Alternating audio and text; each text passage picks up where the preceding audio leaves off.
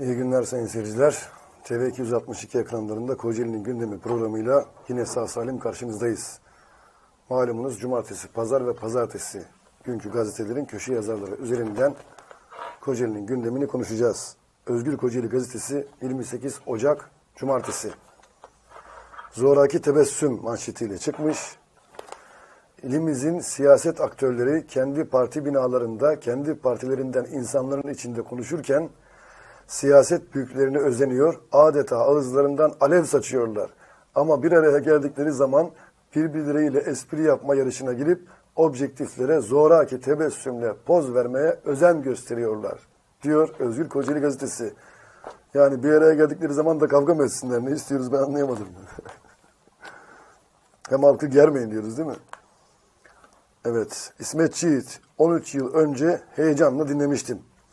Kocaeli Büyükşehir Belediyesi önceki gün Kirazlıyalı ile İzmit arasında yapılacak D100'e alternatif olacak yol üzerinde e, viyadü, viyadüğün inşaatı ile ilgili ihale yaptı. Ne zaman?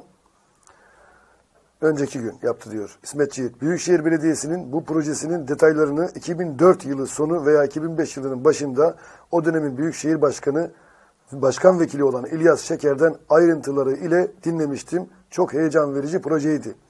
Aslında o yol güzergahındaki kamulaştırmalar falan da hızla yapıldı. Ama hala ortada yol yok. 13 yıl sonra viyadük inşaatı için ihale yapılıyor. Aslında AK Partili yerel yönetimlerin bu kent için hazırladıkları projeler, bu kent halkına sundukları projelerden onda biri yapılmış, bitmiş olsaydı şimdi bu kentteki yaşam çok daha farklı olabilirdi. Ben genellikle bu akıl almaz yavaşlığı eleştiriyorum. Ama çocuk bile 9 ayda oluyor diyor. Kendilerinde hiç hata bulmuyor. Eleştirenlere kızıyorlar diyor İsmet Çiğit.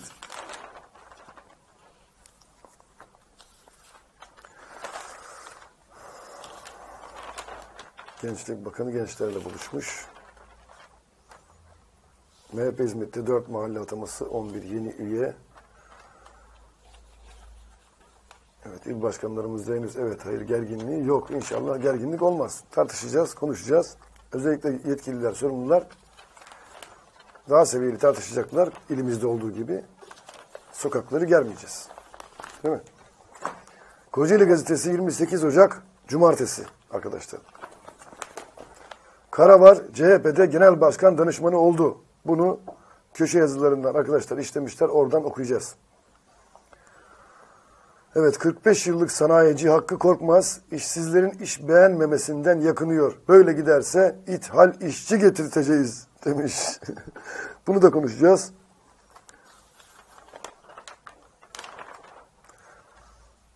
Evet. Necdet Güler İnönü Parkı'ndaki o garip görüntülü büst. Bunu zaten malum ee, Necdet Güler İnönü Parkı'nı eleştirmiş. Ufacık bir yer. E, bir tarafında insanlar oturup içki içiyor. Gerçi ayyaşlar diye hitap etmiş ama içki içiyorlar. Ufacık bir yer ortasından yol geçiyor. Böyle ufacık bir yere böyle büyük bir devlet adamının isminin verilmesi başlı başına zaten yanlış bir şey diyor Necdet Güler. Yazısını özetliyorum. E, oraya konulan e, İnönü'ye benzemeyen büstünde e, CHP il başkanlığı tarafından kaldırılıp yerine yenisinin konulmasını tebrik ediyor Necdet Güler. Ama o park yerine İsmet İnönü'nün daha e, büyük, daha güzel bir yere, daha geniş bir yere isminin verilmesinin daha doğru olacağını savunuyor Necdet Güler. Ben de öyle düşünüyorum. Ufacık park yani. Park demeye şahit lazım. Ortasından yol geçiyor. Yan tarafında prizmanlar, bizim arkadaşlar. Orada bir tane heykel yola bakıyor. Çok küçük bir basit bir yer yani. İsmet İnönü'nün ismi için basit tabii yani. Evet, Tanzer Ünal, sen çok yaşa Hakkı Bey. Demin konu, e, manşette konuştuğumuz konu 45 yıllık sanayici Hakkı Korkmaz. Onunla ilgili e, tanıtım yapmış. 72 yıldan beri kendi işini yapıyor. E, evet. Kandıra'da vesaire baş, yani çok şahsi olduğu için tamamını okum, okuyup zaman kaybetmeyelim ama e, Hakkı Korkmaz'ın Şuradaki açıklamasını okuyayım ben İsmet e, şey Tanzanya'nın köşesinden. Şimdiki gençler zaman geçirmek için masa başı işleri tercih ediyorlar. Sanayide çalışmak isteyen neredeyse kalmadı. İşçi bulmak her geçen gün zorlaşıyor. İş beğenmeme durumu var. Nitelikli eleman yok memlekette. Biz alıp öğretiyoruz. Türkiye'nin durumu zor. Böyle giderse yurt dışından ithal işçi getirtip çalışacağız diyor. Çalıştıracağız. Bu sadece sanayide değil. Her sektörde aynı. Kimse işini yapmıyor. Üretim toplumu olmamız gerekirken tüketim toplumu haline geldik diyor Hakkı Korkmaz iş adamı. Sanayici. Ve Tanzer Ünal. Hakkı Bey'in tespitlerini görüyor musunuz? Türkiye'nin durumunu birkaç cümleyle nasıl da güzel özetleyivermiş. Türk toplumunun nere, nereden nereye geldiğini, çalışmaktan, üretmekten nasıl koptuğunu, gençlerin yaşama bakış açısını, işsiz oldukları halde iş beğenmediklerini, kalifiye işçi sorununu nasıl tüketim toplumu haline getirildiğimizi izah etmiş diyor Tanzer Ünal. Yani burada bu daha önce Sanayi Odası Başkanı'nın da böyle bir açıklaması vardı. Başka yetkililerin de oldu. İşte iş, işsizlik yok, iş beğenmeme durumu var diye. Onunla ilgili daha önce de konuşulmuştu ama ben tekrar edeyim. Yani insanlar hayat standartlarının biraz daha yüksek olmasını arzu eder. Bu insanın doğasında var haliyle. Yani iş beğenmeme değil de verdiğiniz mesela e, hakkı korkmaz. İşçisine ne verecek? Yani veriyor mu 2500 lira maaş artı yol artı sigorta artı yemek varsa ilanı versin gazeteye yarın kuyruğa gider işsizler. Ama asgari ücretle kirpas içinde e, sosyal güvencesi muhakkak olacaktır sigortası filan ama yemek yok, yol yok, o yok, bu yok. Yani alacak 1402 lira maaş veya 1400 1500 lira maaş, 500 lira kira verecek, 200 lira yol parası verecek, 700 lirayla geçinecek adam gelip size iş istemez. Verin yüksek e, ücretler ödeyin, yüksek maaşlar verin. Bakın nasıl kuyruğa girecekler görürsünüz. Bu da önemli. Yani tek taraflı bakmayalım bu işe. Ama şeye katılıyorum tabii. Yani iş beğenmeme konusuna katılmıyorum ben. Fiyatlar yükseldiği zaman herkes çalışır. Niye insanlar bir liseye girmek için kuyruğa giriyor? Çok mu rahat bir lisenin işi? Değil ama sosyal güvencesi var. E, gelecek endişesi yok. Maaşları çok yüksek. Her türlü hakları var işçilerin. O yüzden oraya girmeyi tercih ediyorlar. Ama e, burada nitelikli eleman yok memlekette konusunu ayrıca yazıp tartışmak lazım. Yani bunu köşe yazarımız yazsınlar. E, bununla şeyin de önemi var. Tabii 28 Şubat sürecinde İmam Hatip liselerini kapatmak için bütün meslek liselerini kapattılar o dönemde. Yani sistemini değiştirdiler. E, o dönemden kalma bir e, sıkıntı var. Yani sanat okullarından insanlar yetişip buralara gitmesi lazımken e, bu tercih edilen bir meslek dalı haline gelmekten çıkarıldı. Yani birçok sebebi var tabii onun. O konuya katılıyorum tabii. Nitelikli işçi var mı? Yok. Yani adamın hiçbir numarası yok. Bir de yüksek maaş istiyor. Bir de ma masa başı iş, iş istiyor yani. Lise mezunu ya da ortaokul mezunu hem yüksek maaş istiyor hem masa başı iş istiyor hem, hem yol hem yemek hem karpuz kabuğu. Öyle de yok yani. İnsanlar biraz kendine de bakacak. Yani nitelikliyse zaten niteliğine göre iş bulur. Kocaeli Gazetesi 28 Ocak. Hyundai Aslan Kore gazileriyle kucaklaştı. Hyundai Aslan üst yönetimi Türkiye Muharip Gaziler, Gaziler Derneği'ni ziyaret etti. Kore gazileri ve torunlarıyla buluşmada yaşanan duygusal anlar iki ülkenin dostluğunu ve kardeşliğini bir kez daha göz önüne serdi. Evet, bunu da okumak ihtiyacı duydum. Güzel bir haber çünkü. Ve Mavi Kocaeli Gazetesi 28 Ocak Cumartesi teksip yazısı manşet olmuş arkadaşlar. Neden? Okuyacağım zaten buradan belli olacak. Zannederim mahkeme kararı e, tekzip edilecek haber nerede yayınlandıysa tekzip yazısını orada yayınlayın diye şart koşmuş olmalı ki manşetten yayınlamış tekzip yazısını. Tabii hukuka saygıdır. Bunu yayınlamak da önemli bir şey. Mavi Kocaeli Gazetesi'nin ya hata yapabilir yaz, yazarlarımız veya gazete yanlış politika uygulayabilir. E, haberde çarpık bir takım ifadeler kullanabilir. Hata hepimizin için geçerli. Bunu düzeltmek için de mahkeme kararı neyse ona uyulması da önemli bir şey. Gazetemizin yani tekstil yazısını e, İzmit Belediyesi gönderiyor arkadaşlar. Gazetemizin 12 Ağustos 2016 tarihinin nüshasında birinci sayfasında İzmit Belediyesi'nde FETÖ, FETÖ'cü avı başlıklı haberde yer alan iddia ve yorumların gerçeğe aykırı olması nedeniyle kamuoyunun doğru bilgilendirilmesi amacıyla aşağıdaki açıklamanın yapılması gerekmektedir. Habere konu İzmit Belediye Başkan Yardımcısı Güray Oruç. Başkan Doktor Nevzat Doğan'ın öz yeğeni değil, yeğeninin eşidir. Gazete istemesi halinde çok kolay öğrenebileceği bu bilgiye ulaşmak yerine asparagas ve özensiz haber hazırlamayı tercih etmiş, vatandaşları yanıltmaktan çekinmemiştir. Gazete yalan haberle açığa alınan İzmit Belediye Başkan Yardımcısı baş, yardımcısını Başkan Doktor Nevzat Doğan'ın öz yeğeni olarak göstermekle yetinmemiş, toplum nezdinde prestijini, onur ve saygınlığını rencide etmek maksadıyla akrabalık bağını kullanarak sıranın Başkan Nevzat Doğan'a geldiğini ima etmiş, haber içeriğinde çirkin ve haddi aşan sorularla Başkan Doktor Nevzat Doğan'ı ve belediyeyi hedef göstermiştir. Yapılan bu haberi gazetecilik etiğiyle bağdaştırmak mümkün değildir diyor. Tamamını okumayayım arkadaşlar. Tekzip yayınlanmış neticede. Ya bu işleri de bir İzmit Belediyesi ile Mavi Koca ile bir arayı düzeltse de bir rahat rahat okusak biz de ya. yani basınla belediyenin kavga etmesi hoş bir şey değil ya. Beli, basının da belediyeyle kavga etmesi hoş bir şey değil. Yani nedir? Okuyucu yüzüyor, bizi yüzüyor ya. Evet, hayır aynı masada. Devam edelim arkadaşlar ve partili gazeteci olur mu? Yüksel Ercan. Yüksel Ercan'ın e, bu üç gündür yazdığı yazıları çok eleştiri getireceğim. Yani katılmadığım bölümler var diyeyim. Şuradan okuyayım. Zaten başlık konuyu özetliyor arkadaşlar. Partili gazeteci olur mu? Özetleyeyim şu bölümünde. Yüksel Ercan daha önce bir gazete çıkarmış. E, Milliyet Çalışma Partisi döneminde e, haliyle Yüksel Ercan ülkücü. Milliyetçi Çalışma Partisi'nde e, çok yakın gönül vermiş. O dönemde gazete çıkartıyor. O gazete Gebze'de bir araştırma yapıyor işte kim kazanacak gibi. Çok özet bir şey yapmayayım, üstüne gitmeyeyim. Araştırmada SHP adayı Mehmet Emin Akın'ın kazanacağı sonucu çıkıyor. Ankette değil.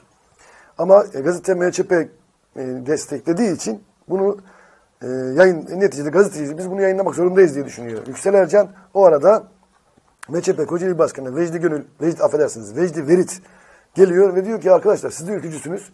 E, gazete ülkücü, biz de ülkücüyüz. Yani bu seçim atmosferinde SHP'li aday kazanacak diye haber araştırma yayınlamanızın manası var mı deyince biz gazeteciyiz.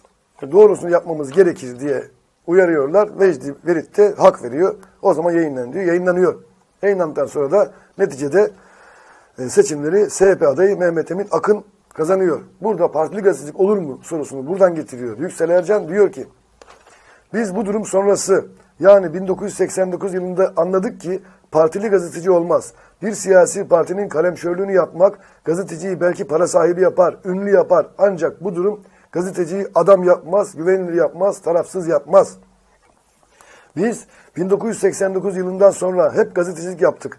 Partili gazeteciliği elimizden geldiği kadar öteledik. Taraftarı olduğumuz partinin yanlışını da bu bizim partimizdir diyerek görmemezlik yapmadık. Aksine yanlışı haber yaptık ve biz sizin dostunuzuz. Hatanızı söyleyelim, yazalım ki bu tür yanlışları bir daha yapmayın diye nasihat etmeyi bırakmadık.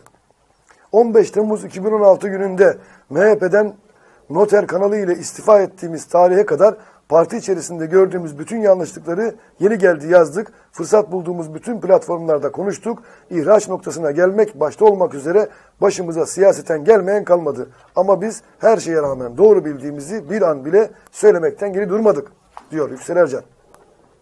Gazeteciye baskı dışarıdan gelmez. Sahibi olduğunuz ya da yazı yazdığınız yayın kuruluşunun kendisinin gazeteyi, gazeteciyi ya da yazarı da yine kendinin özel kalem müdürü olarak gören. Yani e, gazete sahibi gazetede yazı yazanları kendi malı gibi görüyor. Kendisini de özel kalem müdürü olarak görür diyor.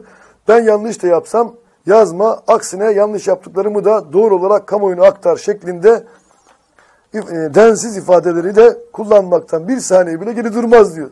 Biz partili gazeteciliğini terk edeli uzun yıllar oldu. Bulduğumuz platformlarda son derece objektif bir şekilde yazı yazmaya, haber yapmaya, sevmesek bile işini kim iyi yapıyorsa onu alkışlamaktan, çok sevdiğimiz birisi olsa bile işini düzgün yapmıyorsa onu da yer, yermekten, eleştirmekten bir an bile geri durmuyoruz diyor Yüksel Ercan.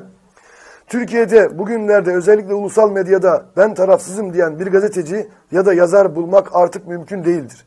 Tam ortadan ikiye bölünmüş medya vasıtasıyla herkes inanmadığı pek çok meseleyi inanıyormuş gibi gerçek gerçekmiş gibi kamuoyuna sunmaya ve bundan prim yapmaya çalışıyor.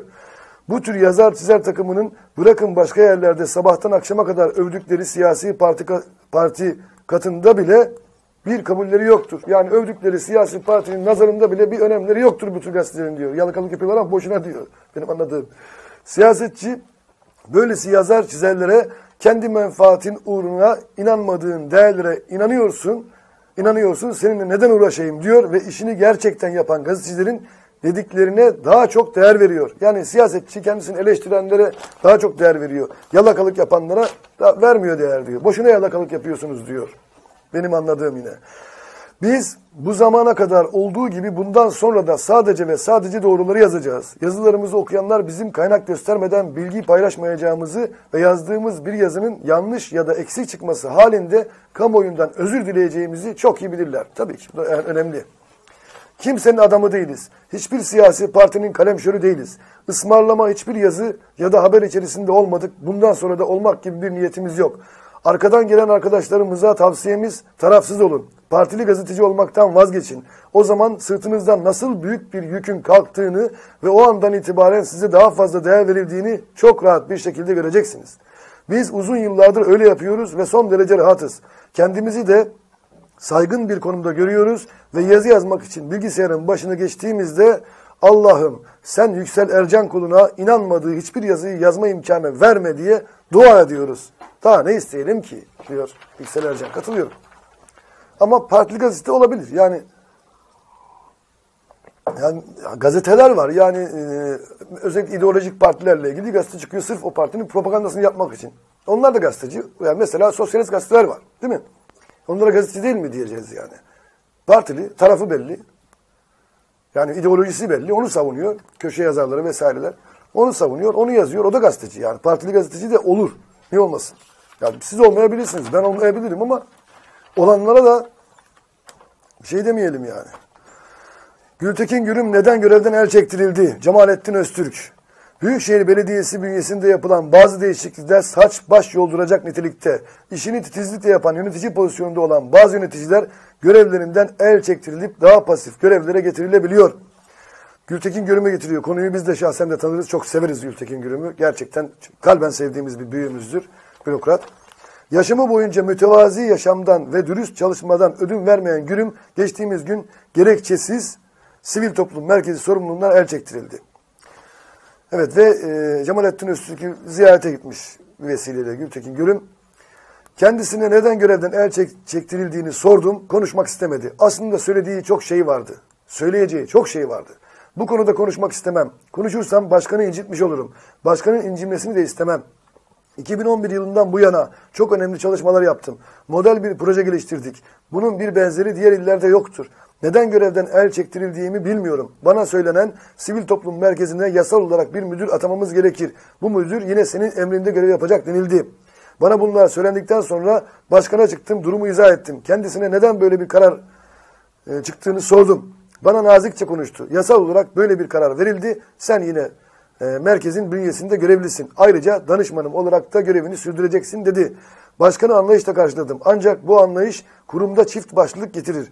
Mevcut yerimde oturmadım ve eşyalarımı toplayıp kent konseyi binasındaki yerime geçtim dedi Gültekin Gürüm.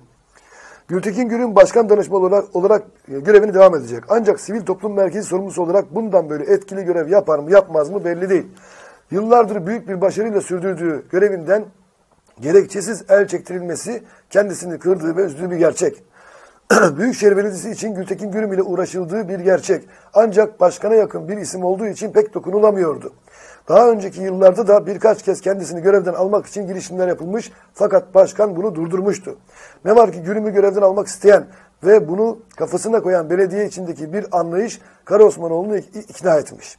İnsan olarak kusursuz, çevresinde çok sevilen, belediyeye ve partiye önemli kazanımlar getiren Gürüm'ün yıllardır başarıyla sürdürdüğü görevinden el çektirilmesi düşündürücü.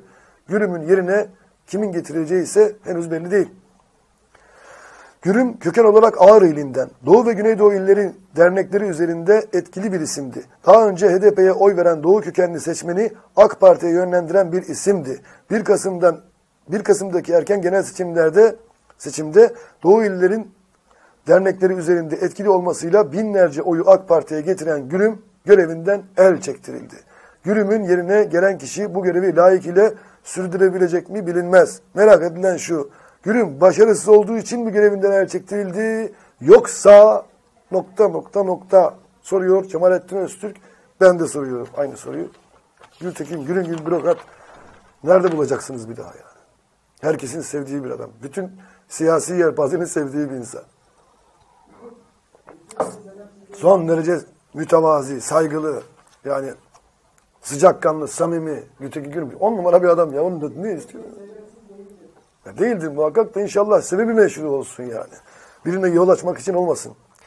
Furkan Kaya'nın bir yazısı var arkadaşlar. Çok güzel bir yazı. Bu yazıyı ayırıyorum. Daha geniş zamanda okumam lazım. Çünkü dış politikayla ilgili işaretlemişim gerçi ama yani yazıyı tamamını okumazsak yazıya yazık edeceğiz. Onun için o yazıyı ne yapıyoruz? Ana kumanda ayırıyoruz. Eğer programda yeterse okuyacağız, yetmezse bir sonraki programda okuruz. Çünkü güncelliğini yarın öbür gün kaybedecek bir yazı değil. Furkan Kaya'nın yazısı. Yani bunu haftaya da okusak olur. Bir sonraki programda da okusak olur. Bugün okusak da olur. O nedenle bu gazeteyi ne yapıyoruz? Kenara ayırıyoruz arkadaşlar. Mavi Kocaeli Gazetesi'ne. Evet Demokrat Kocaeli Gazetesi 28 Ocak Cumartesi. Ülkücüler iki parça. Referandumun en kilit partisi konumunda konumundaki MHP adeta ikiye bölünmüş durumda. İl başkanı hayırcılara tepki gösterirken camianın Gölcük'teki önemli isimleri bir araya gelerek referandumdaki kararlarını açıkladılar. Hayır diyorlar onlar. Evet, il başkanı, MHP il başkanı Aydın Ünlü diyor ki, ülkücü olup da hayır diyenlerin küresel güçlerin oyunlarına alet olduğunu savunan Aydın Ünlü, herkes aklını başına alsın. Türk dünyasının lideri Devlet Bahçeli'nin 15 Temmuz'daki Türk milliyetçilerinin ve MHP'nin duruşuyla Türkiye ayağa kalkmıştır. 2017 lider ülke sıçramasının yapılacağı yıldır. Değişen sisteme Türkiye Cumhuriyeti Devleti de kendini uydurmak zorundadır diyerek anayasa değişikliği istediklerini vurguladı. Aydın Ünlü. Evet.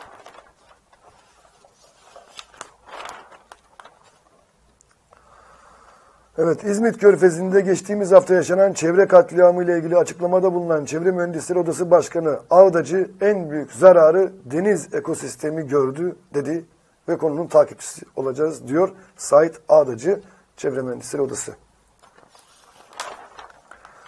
Uğraş Çiftçi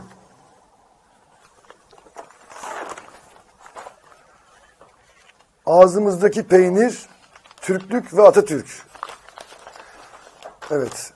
Hemen hemen hepimizin hemen hemen hepimiz karga ile tilkinin o meşhur hikayesini biliriz. Hani ağacın dalına konmuş olan karganın ağzında bir kalıp peynir vardır da bunu gören tilki ona metiyeler düzerek sesinin çok güzel olduğunu söyleyerek şarkı söylemesi için onu kandırır. Buna inanan karga da daha ağzını açar açmaz ağzındaki kalıp peyniri yere düşürür.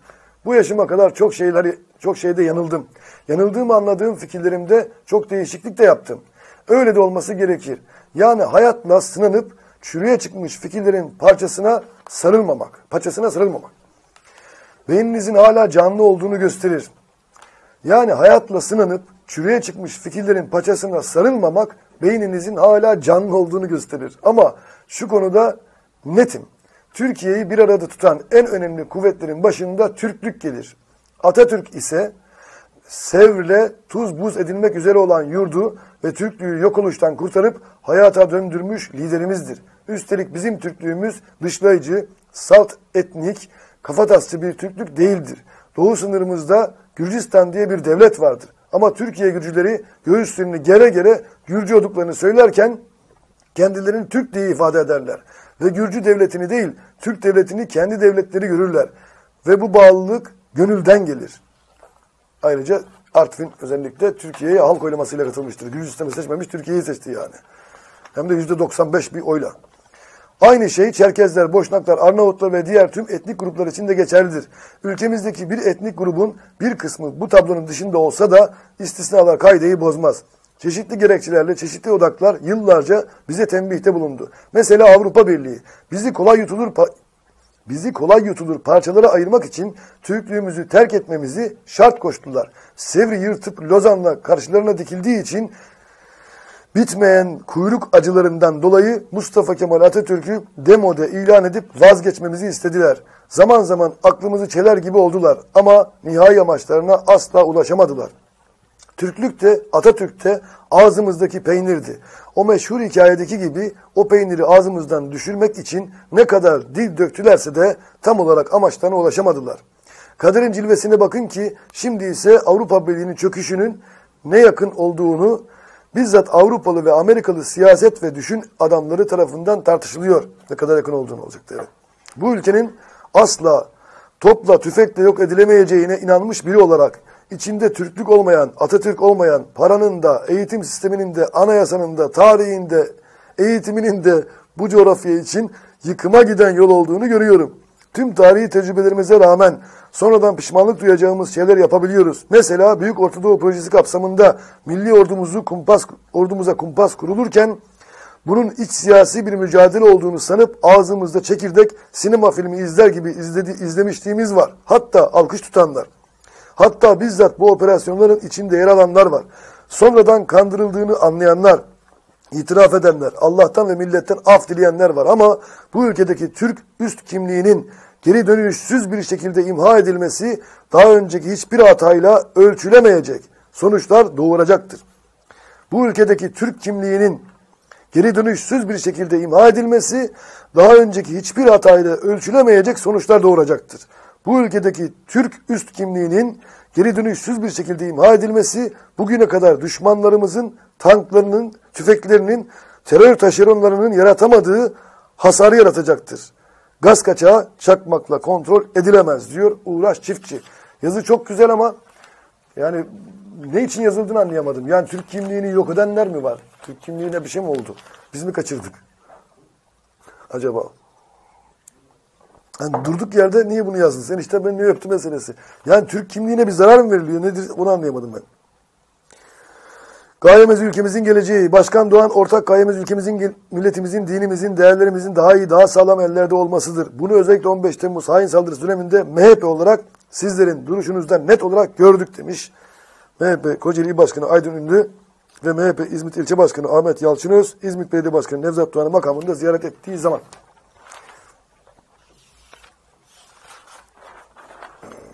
Evet, yetiştirelim biraz. Bugün üç günlük gazete olduğu için bazı yazılarımızı çarşamba günü çarşamba günü satabiliriz. Çağdaş Kocaeli Gazetesi 28 Ocak Cumartesi Kent Konseyi 7 il başkanı ve STK başkanlarını ağırladı. Evetçiler ile hayırcılar aynı masada oturabilmeli. Manşetiyle çıkmış elbette.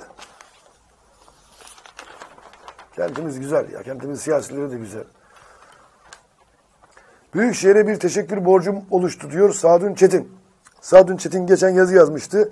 Ee, yürüyüş yolundaki ışıklandırmaların yetersiz ol olmasıyla ilgili vesaire. Ee, ışıklandırma derhal yapılmış, güzel olmuş.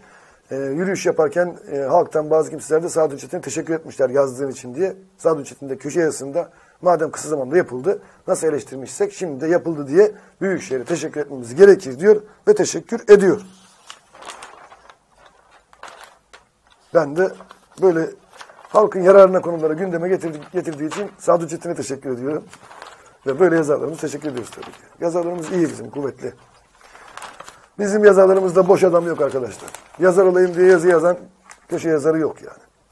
Ya benim her gün e, köşe yazarını okuduğum için oradan söylemek gibi bir hakkım var. Ayrı görüşler bir araya geldi. Büyük Kocaeli Gazetesi 28 Ocak Cumartesi.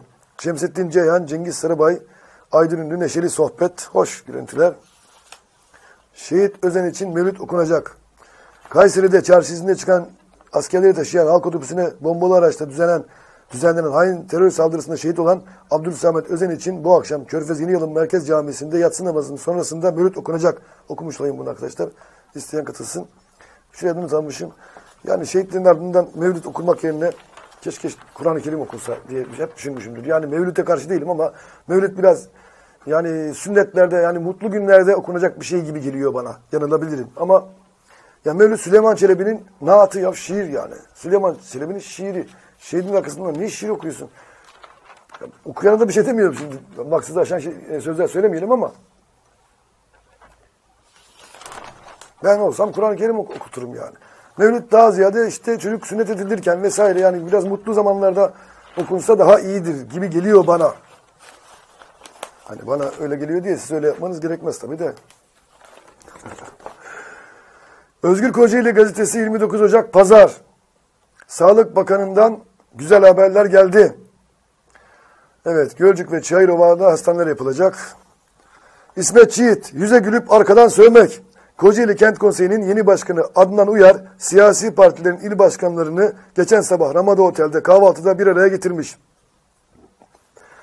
AK Parti İl Başkanı Ceyhan, CHP İl Başkanı Sarıbay, MHP İl Başkanı Ünlü yan yana oturuyorlar. Ne güzel bir tablo diye düşünebilirsiniz. Murat Yoldaş fotoğraflarını çekmiş. Fotoğraflara dikkatli baktım. Zoraki gülümsüyorlar.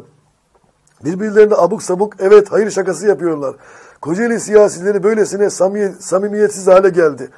Arkalarından birbirlerine yerli yersiz konuşup sövenler yan yana gelince gülücük dağıtıyorlar. Bizim şehrimizin, ülkemiz siyasetinin bu samimiyetsizliklerden, bu yapmacık tavırlardan da siyaseti sertlik sanıp meydanı boş bulunca esip üfürenlerden de kurtulması lazım. Herkes normal olsun, herkes doğal olsun. Herkes birbirine karşı samimi, her zaman nazik olsun. Bakın o zaman pek çok sorun, sorun daha kolay çözülür diyor İsmet Yiğit. Kafası karışık olan eve gitsin diyor. Aydın Ünlü. Ülkücüler evet der Aydın Ünlü sen merak etme bakma onların. Yani bizim ülkücülerin şeyi sandığa gidene kadardır. Ben eskiden işte 98-99 o yıllarda MHP'liyim tabii ki haliyle ülkücüyüz. Kızıyorum bir şeylere, kendi kendime sövüyorum, sayıyorum. Diyorum ki ebedi bunlara bir daha MHP'ye oy vermeyeceğim diyorum. Bak, dinleyin bunu. Ebedi MHP'ye oy vermeyeceğim diyorum. Sövüyorum, kızıyorum arkadaşlar.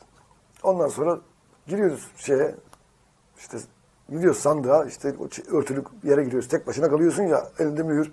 Ya bakıyorum, bakıyorum. Üç hilal boynunu bükmüş duruyor. Nasıl vermeyeyim ya? Veriyorum gene çıkıyorum yani. Mülkücülerde böyle bir şey var. Kızar mızarlar ama giderler liderin dediğini yaparlar yani. O yönde bir şeyim var benim yani umudum. Kızdıklarına bakma yani. O yalnız kaldıkları zaman, ellerinde mühür olduğu zaman gereğini yaparlar onlar. Evet. Komşu yine yanlış yaptı diyor. İsmet Yiğit biliyorsunuz e, Yunanistan e, 15 Temmuz sürecinde helikopterle Yunanistan'a kaçıp sığınan askerleri iade etmedi.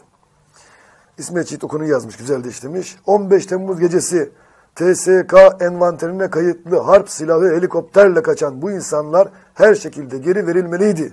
Şimdi Türkiye'de elindeki bütün kozları kullanıp misilleme yapma hakkına sahiptir. Biz de iade etmeyiz madem öyle diyoruz. Evet yine İsmet Yiğit siyaset bu seviyeye inmemeli.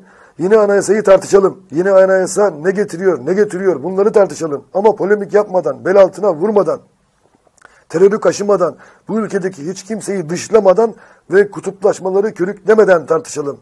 Böylesi çok daha iyi olmaz mı? diyor İsmet Çiğit. Tabii ki daha iyi olur. Kafası karışık olan evine gitsin. Kafamızı kızdırmayın.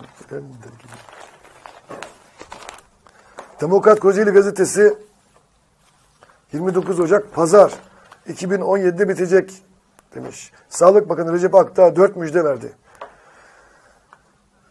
Evet. Kocaeli Devlet ve Şehir Hastaneleri bu yıl bitecek. Gölcük ve Çayır Hastanesi yapılacak. Evet. Aynı tabelaya, Real'in tabelasına ikinci kez intihar etmeye çıkmış aynı adam. Bu alışkanlık haline getirmiş herhalde. CHP'de karavar tepkisi. Karavarı başka bir yerden okuyacağız dedik ama şuradan. Sadece iki yıllık CHP geçmişi bulunan Karavar'ın böylesine önemli bir görev alması yıllardır partiye emek verenlerin tepkisini çekti kendisinin daha önce AK Parti'den meclis üye adayı, aday adaylığında bulunduğunu hatırlatan CHP'liler geçmişte iktidar partisinin de adaylığı söz konusuydu. Kısa sürede nasıl o makama getirilir diyor. Kılıçdaroğlu'nun danışmanı olduğu için Karavar'a kızıyorlar. Cuma Karavar'a. Onu ilk köşelerde de var. Onun için hızlı hızlı geçelim.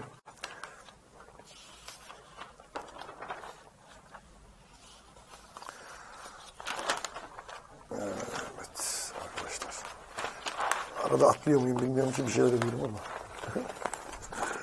Kocaeli Gazetesi 29 Ocak Pazar 77 kilo verip zayıflamanın kitabını yazdılar. Zayıflama diyeti sayesinde Okan Çağlar 50, eşi Nurçin Çağlar 27 kilo verdi. Eşiyle birlikte kitap yazan Okan Bey zayıflamak isteyenlere yol gösterdi. Manşet arkadaşlar. Kocaeli Gazetesi'nin manşeti. Niye böyle manşet yapmışlar anlayamadım. Evet. Tanzer Ünal da o konuyu yazmış köşesinde. Karatay diyetinin olmazsa olmazları vesaire. Evet kitabı tanıtmış. Kilo verme kitabını tanıtmış Tanzer Hoca. Tanzer Ünal. Kilolu arkadaşlara okumasını tavsiye ederim. Abdullah Karagöz yabancılarla evlenmesinler diye evlenme cüzdanlarına zam yapılmış. Şimdi evlenme cüzdanı için yani evlilikle ilgili her belediyenin farklı uygulaması var. İşte yer tahsisi veya evlilik cüzdanının ücretiyle ilgili. Kimisi ücretsiz, kimisi 80 lira. Bazı her belediye farklı farklı uygulama yapıyor. Ee, nedir? Edirne Belediyesi mesela 80 lira alıyor. Dosya masrafı 15 lira alıyor. Çanakkale 250 lira alıyor. Çorlu bilmem ne alıyor vesaire. Ama Kocaeli Karamürsel Belediyesi'nde yerli vatandaş, vatandaşlar için evlenme cüzdanı 250 lira. 250 lira. Yabancı uyruklular için 1000 lira ücret alınıyormuş. Arada nereden bakarsanız 1000 liralık fark var. Neden? Genç adam elindeki evrakları gösterirken Abdullah Karagöz'e anlatmış bunu. Gösterirken bir yandan da yanındaki konuşmaları dinleyen eşine işaret etti. Eşimin yabancı olması. Eşi yabancı diye evlilik cüzdanı bin lira veriliyormuş. Ee, Karamürsel Belediyesi tarafından. Yabancılarla evlenmesinler diye Karamürsel Belediyesi böyle yapıyor. Diye de iddia edilmiş. Bunu da gündeme getirmiş olalım. Böyle bir şey de varsa ya sebebi açıklanır ya da hata düzeltilir. Koca, Mavi Kocaeli gazetesi 29 Ocak Pazar temeli bile yokken bakan bitecek dedi. Çekiyor musunuz arkadaşlar burayı? Ana komanda. Bugün seni pek sakin gördüm ya. Temeli bile yokken bakan bitecek dedi. Arazinin yerini çıkmış yani kazılan yeri. Ee, Kocaeli Devlet Hastanesi, şehir hastanesi, şehir hastanesi projesi var ya 2000 ayında bitecek dediler ama daha temeli yok ortalıkta diyor. Mavi Kocaeli gazetesi. Evet, CHP Genel Başkanı Kemal Kılıçdaroğlu'na danışman olmasıyla herkes şaşırtan Cuma Karavar için İl Başkanı Cengiz Sarıbay Karavar faal bir partimiz, partilimiz yorumunda bulunmuş. Ve kararsızlık eşittir riyakarlık diye son derece maksadı aşan bir başlık Yüksel Ercan'dan. Konuşacağız biraz. Başlıktan zaten konu özetleniyor. Kararsızlık eşittir riyakarlık diyor. Araştırma şirketi sorumlularının var olan bütün televizyon kanallarında milletin gözüne baka baka seçimin kaderini kararsız seçmen belirleyecek şeklindeki açıklamalarını duyan vatandaşlarda sanki araştırmacılar olağanüstü bir şey biliyorlarmış gibi işi gücü bırakıp kararsız seçmen arayışına başlarlar. Avrupa ülkelerinde yaşayan insanların aksine Türk milleti öteden beri siyasete son derece yatkın, siyaseti, siyaseti çok seven, siyaset sahnesinde aşırı inat olan, tarafı olduğu siyasi partinin kazanması için hiçbir fedakarlıktan çekinmeyen bir yapıya sahiptir.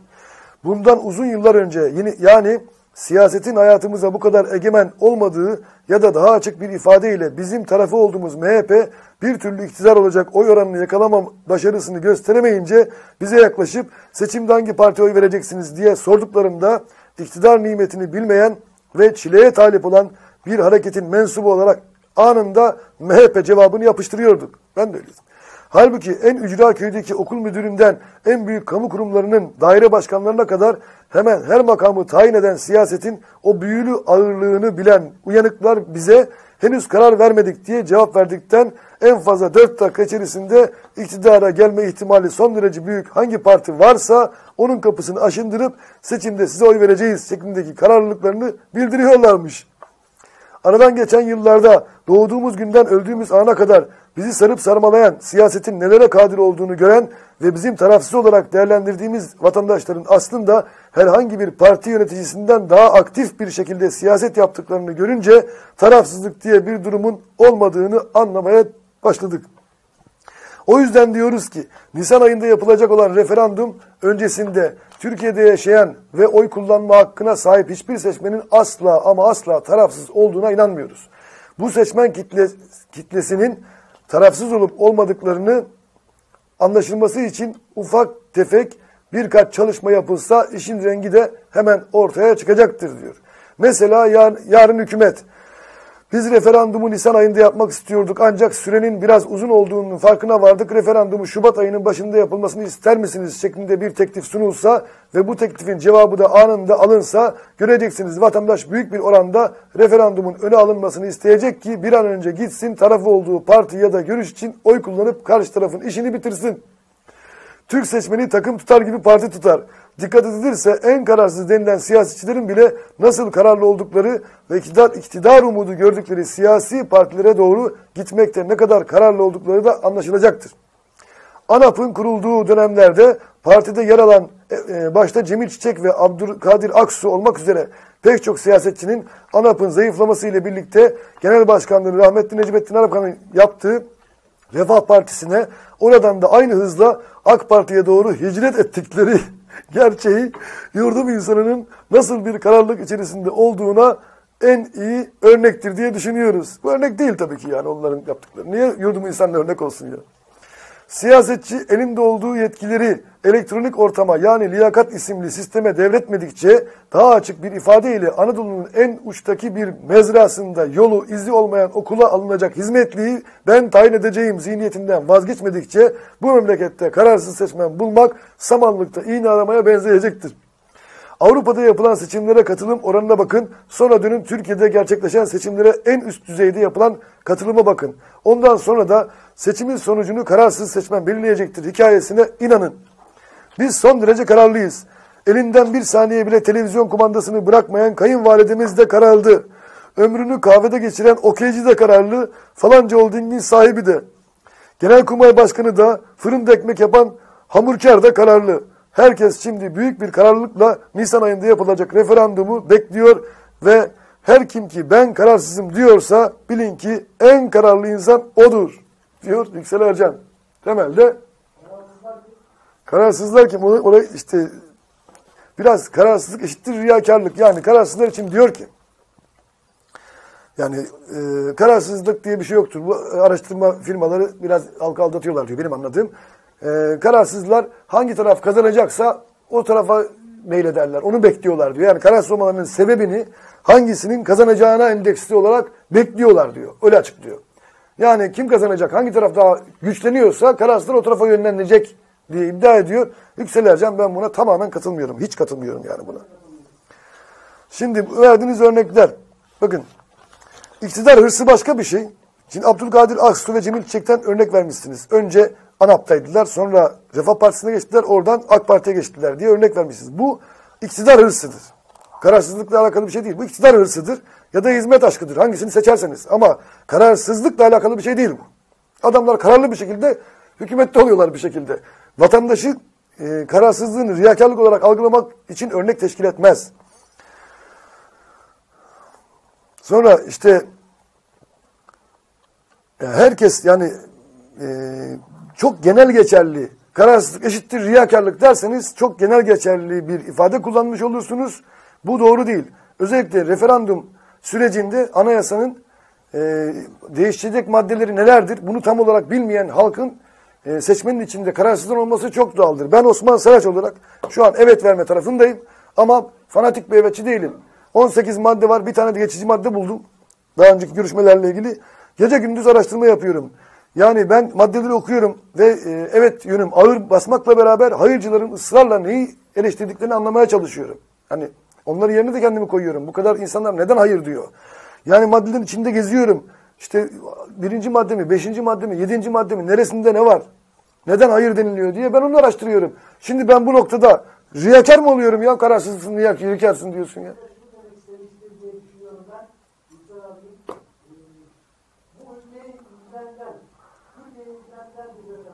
Türkiye ilgilendiren evet. Bu bayraklar bu sınırlar içerisinde yaşayan herkes evet ya hayır oy kullanmak mecburiyetinde.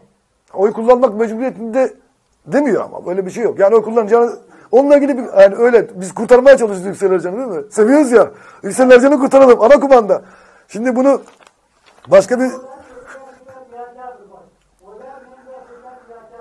ya oy vermeyen de protesto ediyordur. Hayır versin. Evet. Onunla ilgili de bir köşe yazarımız yazmış. Ee, ona da katılırsın. Orada var senin, senin bu görüşün.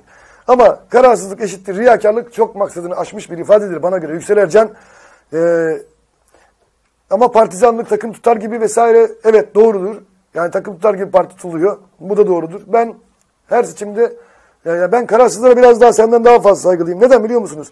Referandumu bir kenara koyarsak normal seçimler işte genel seçimler, yerel seçimler vesaire. Şimdi e, partiler benim yüzde otuz beş oy cebimde, öteki yüzde yirmi beş cebimde, öteki yüzde on iki cebimde diye halkın iradesini cebine koyarsa parti liderleri o zaman e, hata yapmaktan e, korkmuyor. Gelişmek gibi bir amacı olmuyor. Ama şunu düşünse iktidara gelen partiler e, bu halk beni işte yüzde elliyle iktidara getirdi. Yarın yani yüzde otuz cebimde oy var. Halkın iradesi cebimde. Kararlılar partili ya, kararlı adam, partili. Yani adam 30 sene CHP şeye Ecevit'e oy vermiş. Öteki 30 sene Erbakan'a oy vermiş. Öteki 30 sene Türkeş'e vermiş. Demirel'e vermiş. Ya bu adamlar hiç mi hata yapmadı? Hep mi yönettiler deyip kararsız olsalardı, daha e, analitik düşünselerdi, e, o parti başkanları da baron gibi yönetmezlerdi. Maksadını açtı bu ifade. Baronu düzeltiyorum. Yani seçmen öyle olmalı ki bana göre en saygın seçmen kararsız seçmendir. Tam tersini savunuyorum arkadaşlar. Bunu da tartışırım. En saygın seçmen kararsız seçmendir. Neden? Analitik düşünüyor. Niye benim irademi peşinen cebine koysun da meydana çıksın ya falan partinin lideri? Ben bakacağım bu partiyi seçtim yönetsin diye. Bakacağım hataları var mı? Var. Bir dahaki seçimde ötekine vereceğim oyumu. O da marıza yaptı götürüp ötekine vereceğim oyumu. Ben irademle hareket edeceğim. Yani irademi peşinen ömür boyu birisinin cebine neden koyayım? Buna kararlılık denmez ki ya. Buna saplantı denir. Takım tutmak gibi tutmak budur işte esası yani. Ama iktidarı ele geçirenler, iktidara gelenler diyelim Türkçesi. İktidara gelenler e, yarın bu seçmen işte 1 Kasım'da yaşandı. Affedersiniz Haziran seçimlerinde yaşandı. Yarın bu seçmen oyunu bizden alır. Bilinçli bir seçmendir. Başka yere verir diye endişe ederse daha dikkatli çalışır. Ama şu kadar oy benim zaten cebimde blokum var derse dikkat etmez. Yani kararsızlar saplantı sahiplerinden daha saygındırlar bana göre. Tam tersini savunuyorum Yüksel Ercan. Kızmak yok. İstersen de kız. Hı? Abi seçim için ne geçerli olsun? Ben niye 30 sene aynı partiye oy vereyim ya? He? Tabi bu referandum ayrı ha. Referandumda da kararsızlar var. Neden var? Şimdi e, Tayyip Erdoğan'a güvendiği için evet diyor. Mesela evet diyenlerin büyük bölümü diyeyim. Ya, ya hepsi işte. Tayyip Erdoğan'a güvendiği için evet diyor. Ama muhalefetin de rejim değişiyor. Atatürk, Atatürk filan yani korkutma e, politikaları karşısında da tedirgin oluyor. Ulan acaba biz yata bir şey mi yapıyoruz diyor. Burada yapılacak doğru şey e, referanduma sunulan maddelerin tek tek halka anlatılmasıdır. Burada bu isteniyor, burada bu isteniyor, burada bu isteniyor diye halka anlatılmasıdır. Bu da analitik düşüncedir. Yani bu da kararsızları doğurur. Onlar kendi vicdanlarıyla beraber, kendi akıllarıyla, kendi ira, şaş, şaşmaz iradeleriyle karar verecekler. Halk böyledir Türk milleti. Yani o yüzden kararsızlara, ben kararsızları diğerlerinden daha saygın bulurum. Araç, ben niye önüme koyduğum her şeye evet diyeyim ya? Ya da niye her şeye hayır diyeyim CHP gibi yani? CHP'ye Allah bir diye sorsan hayır diyecek. Ya AK Parti öleri getirsin, Allah bir desin meclise hayır der ya. Ya işte oylamadaki birinci madde nedir? He? Meclisteki anayasa değişikliği oylamanın birinci maddesi neydi unuttum şimdi. Yargının bağımsızlığı ve tarafsızlığı. Hayır diyorsun ya. Yargı bağımsız tarafsız olmasın mı diyor CHP şimdi. Bunlar, bunlar mı analitik düşünüyor yani? Evetçiler de Tayyip Erdoğan evet dedi evet diyor. Arkadaş bize ne söylüyorlar? Şunu açın da bir okuyun. Ondan sonra evet deyin, hayır deyin. Diyorum ben de. Evet. İşte CHP böyle büyümüyor diyor. Cemalettin Öztürk çok konuştuğum için Cemalettin Öztürk'ün köşe yazısı zamanını kendim kullanmış bulunuyorum. Ve Cuma Karavar'ın e, AK Parti kökenli, AK Parti aktif siyaset yaptığı halde bir anda CHP üye olup CHP'de başkan danışmanlığı görevine getirilmesinin ne kadar hatalı bir karar olduğunu ve CHP'ye yıllarca hizmet eden, çalışan, CHP için emek veren partililerin incindiğini ifade ediyor. Cemalettin Öztürk işte bu yüzden CHP büyümüyor diyor.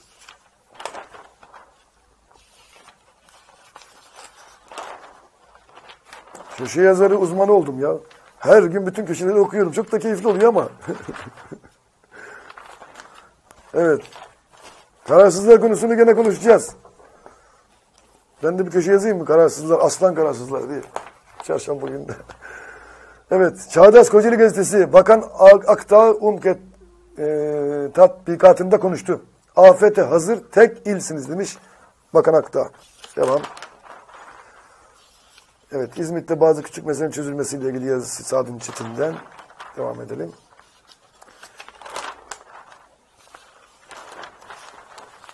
Gazetelerimizi satın alın okuyun sayın seyirciler. Yani herkes bir tane gazete en azından Kocaeli Gazete'nin bir tanesini satın alsın.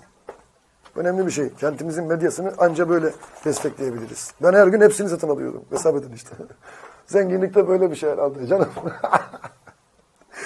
Sağlık Bakanı Profesör Doktor Recep Akta, Recep Akta, Kocaeli Sağlık Merkezi olacak diyor. Büyük Kocaeli Gazetesi'nden devam ediyoruz arkadaşlar.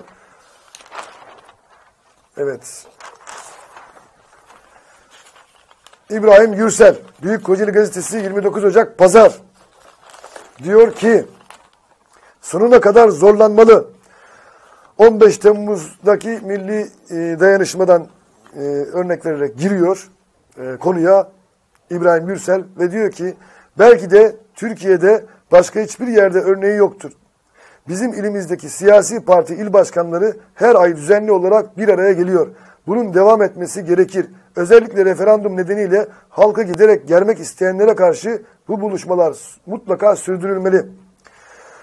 İnsanları evetçi ve hayırcı diye bölmek istiyorlar. Bunu cepheleşme olarak gösterip saflar kurmak istiyorlar. Elbette önemli bir seçim. Türkiye'nin geleceğine yön verecek bir kararın arefesindeyiz. Ama sonuçta demokrasiye inanan insanlar olarak bu referandumda kişisel tercihinden dolayı kişileri germeye, kutuplar, kutup yaratmaya kimsenin hakkı yok. Diyor İbrahim Gürsel. İnsanlara lakap takıyorlar. Açıkçası benim gördüğüm ve hissettiğim evet oyu kullanacakların üzerinde ciddi bir baskı oluşturuluyor. En basiti Gezi Parkı eylemlerinde başı çeken ünlülere gösterilen anlayış ve sabır evet oyu vereceğini açıklayan Rıdvan'a, Arda'ya, Burak'a, Murat Boz'a gösterilmedi. Yerden yere vuruldu, çıkarcı, menfaatçi olarak gösterildi. Şöyle bir düşünüyorum. Sonucu sonucu ne olacağı belli olmayan bir seçime gidiyoruz. Evet de çıkabilir, hayır da. Sonucu henüz bilinmeyen bir seçim öncesi ülkenin tamamının sevgisini kazanmış, kazandığı para sülalesine bakmaya yeten Arda kime ve neye yaranmak için bütün bunları feda etmek istesin. İnanmasa, gerçekten doğru bulmasa çıkıp neden evet diyerek bütün kazanımlarını bir kenara atsın. Rıdvan Dilmen'e federasyon başkanı olmak istiyor, iktidara yakın olmaya çalışıyor diyorlar. Referandumdan hayır çıkacak olsa federasyon mu kalır? Şimdiden imajını bozmaya, hayatı boyunca kazandığı prestijini sarsmaya değer miydi? Demek ki demokrasinin olduğu bir yerde özgürce inandığı şeyleri ifade etmek istemiş. Ama buna rağmen çok ağır eleştiriler ve ithamlarla karşı karşıya kalıyorlar. Gezi Park eylemlerinde sözünü ettiğim ünlülere toz kondurulmuyor ama evet dediler diye bu insanlar yerden yere vuruluyor. Burada çifte standart var diyor İbrahim Gürsel. İşte bu ortamda bizim ilimizdeki il başkanları toplantısında öyle bir fotoğraf vardı ki görünce çok sevindim. İl başkanları görüş ayrılıklarına göre grup oluşturmamış, ayrılmamış, tam tersine karışık oturmayı tercih etmişti. Anayasa değişikliği teklifini kabul etmeyen Cengiz Sarıbay bu teklifi hazırlayan parti temsilcileri AK Parti İl Başkanı Şemsettin Ceyhan ile MHP İl Başkanı Aydın Ünlü'nün arasındaydı. Toplantıya katılan diğer partilerin il başkanları da görüşleri ayrı ayrı da olsa yan yana gelmekten çekinmemişti. Referandum tarihi yaklaştıkça tansiyonun daha da yükseleceğini tahmin edebiliyorum. Tabanda bu toplantıların devam etmesine karşı çıkan bir araya gelmenin yanlış olacağını öne sürenler olacaktır. Ama aylardır devam eden ve birçok önemli soruna çözüm üretilen bu toplantılar şimdi en önemli süreçte rafa kaldırılırsa hiçbir anlamı kalmaz. Asıl bugüne kadar yapılanlar çıkarcılık, menfaat için yapılmış olur. Her ay yapılan bu toplantılarda mutlaka Vali Hasan Basri Güzüroğlu ile Kocaeli Büyükşehir Belediye Başkanı İbrahim Karaosmanoğlu da ziyaret edilirdi. Bu ayki toplantıda Başkan İstanbul'daydı. Vali Güzüroğlu'nun Bakan Akif Çağatay Kılıç konuğuydu. Bu nedenle il başkanları heyetiyle görüşemedi, bir araya gelemedi. Ama bundan sonraki toplantılarda gelenek devam etmeli. Türkiye'nin birçok iline göre Kocaeli huzur kenti. En azından görüş ayrılıklarından dolayı insanlar birbirine girmiyor. Yan yana gelip sohbet edebiliyor. İl başkanları toplantısının bunda ciddi bir etkisi olduğunu düşünüyorum diyor İbrahim Gürsel. Tamamen katılıyorum arkadaşlar. Tek bir soru soruyorsun. İbrahim Gürsel'in bana mı? İkimize birden soruyorsun. Gücün yeter mi ikimize birden? Sen İbrahim Gürsel'i gördün mü hiç? Tamam sor. Evet.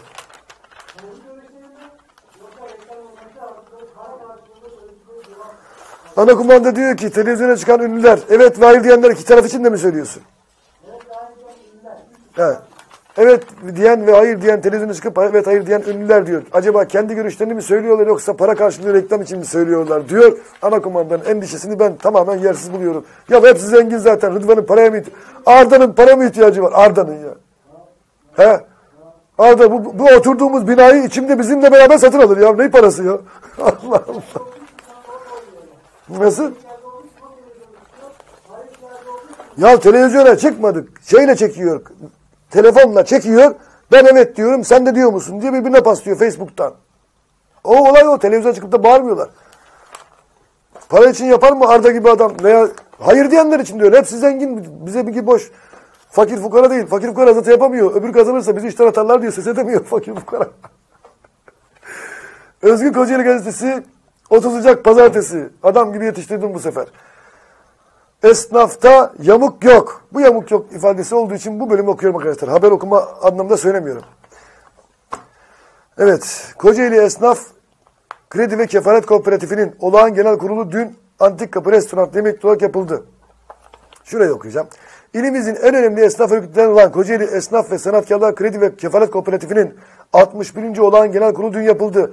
Bu kooperatifin başkanlığını yıllarca sürdüren, şehir restoranda gerçekleşen kongrede oylamayı 5 dakikada yaptıran ve esnafa ünlü yamuk yok sözüyle teşekkür eden merhum Rıdvan Alyürük'ün bıraktığı gelenek devam ediyor. Yamuk yok. Rıdvan Alyürük'ten kalmadır bu ifade. Dünkü kongrede de esnaf merhum Alyürük'ün Selefi Faruk Demir ve yönetimine 5 dakikada el kaldırarak evet dedi. Yamuk yok arkadaşlar. Yönetim değişmedi. Kongre 4 yıllığına seçilen Faruk Demir devam ediyor. Evet hayırlı uğurlu olsun. İsmet Çiğit, seçmenlerin çoğu kararlı, sonucu kestirmek çok zor. Çok önemli bir referanduma doğru gidiyoruz. İki kişi bir araya gelince birbirine referandumda sonuç ne olur diye soruyor. Ben de sık sık bu soruyla karşılaşıyorum. Bugünden gördüğüm tabloyu anlatayım da bari rahat edeyim. Bence toplumun yüzde sekseni referandumda hangi oyu vereceği konusunda kararlarını vermiş. Ama kimse renk vermiyor.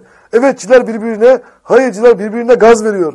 Sizin çevrenizde evetçi çoksa yüzde yetmiş evet çıkar gibi görüyor, görüyorsunuz. Hayırcı çoksa bu referandumu AK Parti kaybeder diyorsunuz. Halk akıllı, bilinçli. Şimdiden sandıktan ne çıkacağını kimse kestiremez. AK Partililer de bu nedenle kaygılı. Referanduma katılma oranı yüzde doksanın çok üzerinde çıkacaktır diyor. İsmet Çiğit'in görüşü. Referanduma katılma oranı %90'ın çok üzerinde çıkacaktır. Eğer mevcut ekonomik daralma, mevcut ekonomik sıkıntılar devam ederse Nisan'daki referandumun sonucunda sonucunda etki edebilir. Bu referanduma gidilirken AK Parti oylarıyla MHP oylarını toplayıp evet bu kadar çıkar demek de büyük hatadır. MHP'nin içindeki kendisini ülkücü ve partisinin gerçek sahibi kabul edenler kesinlikle genel başkandan farklı düşünüyorlar. Aslında referandumdaki sonucu da büyük olasılıkla MHP tabanının tavrı belirleyecektir diyebiliriz diyor İsmet Çiğit. Reklam. Kısa bir ya şunu reklam evet tamam ne yapalım reklam dediler arkadaşlar. Kısa bir reklam arasından sonra ben sizin karşınızda olacağım. Siz de benim karşımda olun.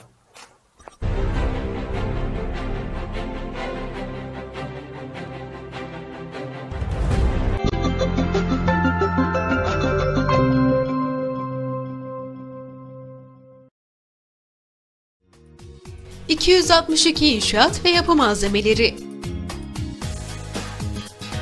Isı yalıtımlı cephe kaplamaları. Kocaeli'yi mantoluyoruz. İşimiz doğru karar, doğru tercih ve doğru malzemeyle tüketici ve çevre dostu hizmetler yapmak. Mantolama, dekorasyon, elektrik ve su tesisatı, Anahtar teslim ev yapımı ve tadilatlarıyla A'dan Z'ye tüm inşaat malzemeleriyle hizmetinizdeyiz.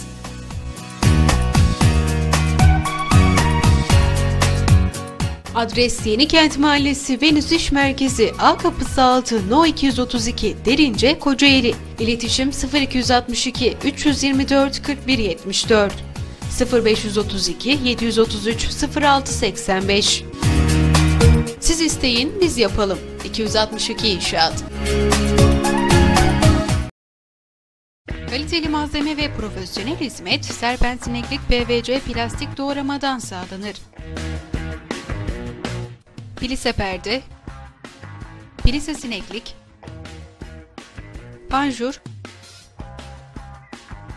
katlanır cam, alüminyum korkuluk ve alüminyum doğrama ses, su ve toz almayan tüm ürünleriyle yapılarda kusursuz çözümler. Serpensineklik PVC plastik doğramada. İletişim 0262 311 1166 0533 385 58 Adres Yenişehir Mahallesi Sultan Baba Sokak No 33 İzmit Kocaeli Serpen Sineklik PVC plastik doğrama Hayata bir de bizim penceremizden bakın.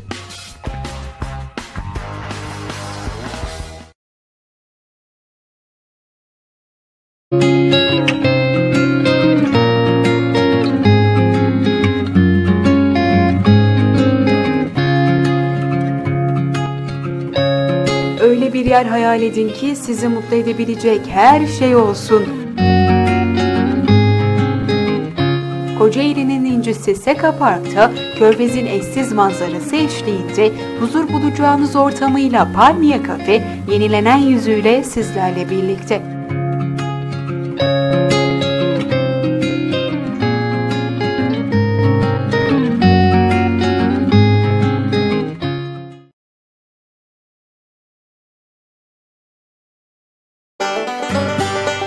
Özgüven Market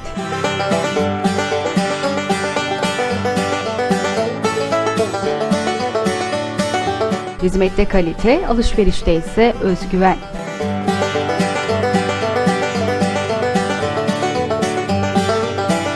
Acısu, Derbent ve Nusretiye şubeleriyle siz değerli müşterilerini bekliyor.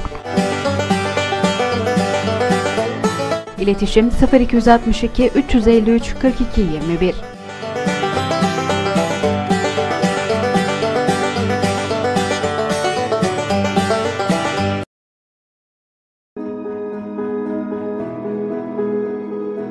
Eftal Maya Evleri, Kocaeli'nin gözde semti, Yeni Mahalle Radar mevkiinde, doğanın içinde yaklaşık 1000 metrekare yeşil alan içerisinde, 20 daire, 3 iş yeri, 200 metrekare kapalı otoparkı ile siz değerli sahiplerini bekliyor. Maksimum güvenceyle hayallerinize kavuşacağınız yeni yaşam alanları, Eftal Maya Evleri.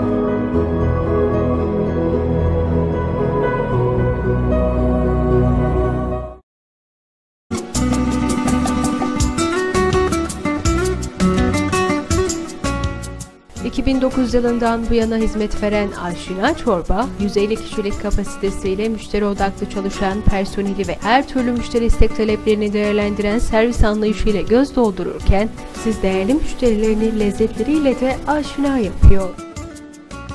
Muhteşem çorbalarının yanında müşterilerine farklı lezzetler de sunan Aşina Çorba, şimdilerde ocak başıyla da iddiasını ortaya koyuyor. Alışılmış lezzetlerin dışında yöresel lezzetleri de sunarak 7 gün 24 saat hizmet anlayışıyla evlere ve iş yerlerine aldığı siparişlerle Adana'yı ayağınıza getiriyor. Unutulmaz bir lezzet deneyimi için sizleri de aşina restoran ve ocak başına bekliyoruz.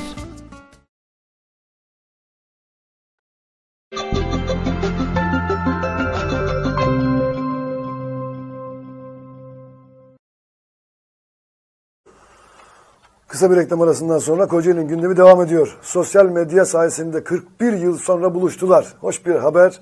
Özgür Kocaeli Gazetesi 30 Ocak Cuma e, Pazartesi.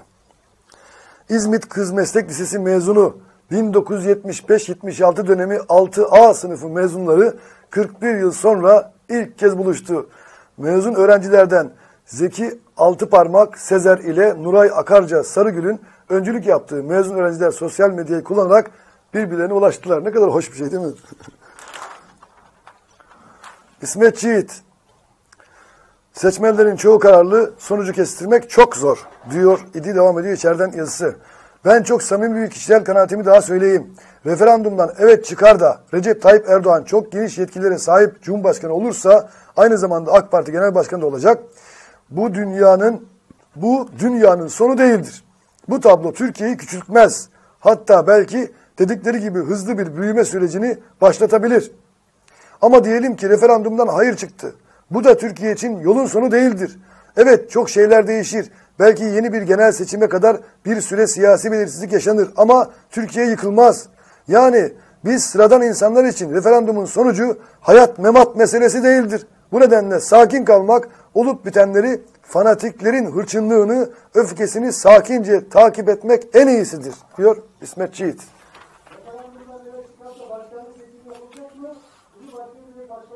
Yok o 2019'da o. Tabii. Genel seçimlerle beraber yapılacak.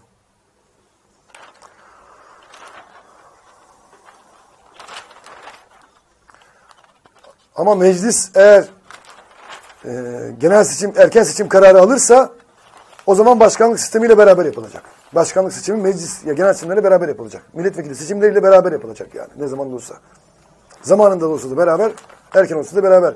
Kocaeli Gazetesi 30 Ocak Pazartesi Koto Başkanı Necmi Bulut ağlamak yerine proje üretmeliyiz diyor. Necmi Bulut farkı nasıl belli oldu Koto'da görüyor musunuz? Nasıl Koto sakinleşti, duruldu, kendine geldi. Necmi Reis hayırlı uğurlu olsun. Evet. Boykot mu edelim? Başlıklı yazısı Mustafa Küpçü'nün.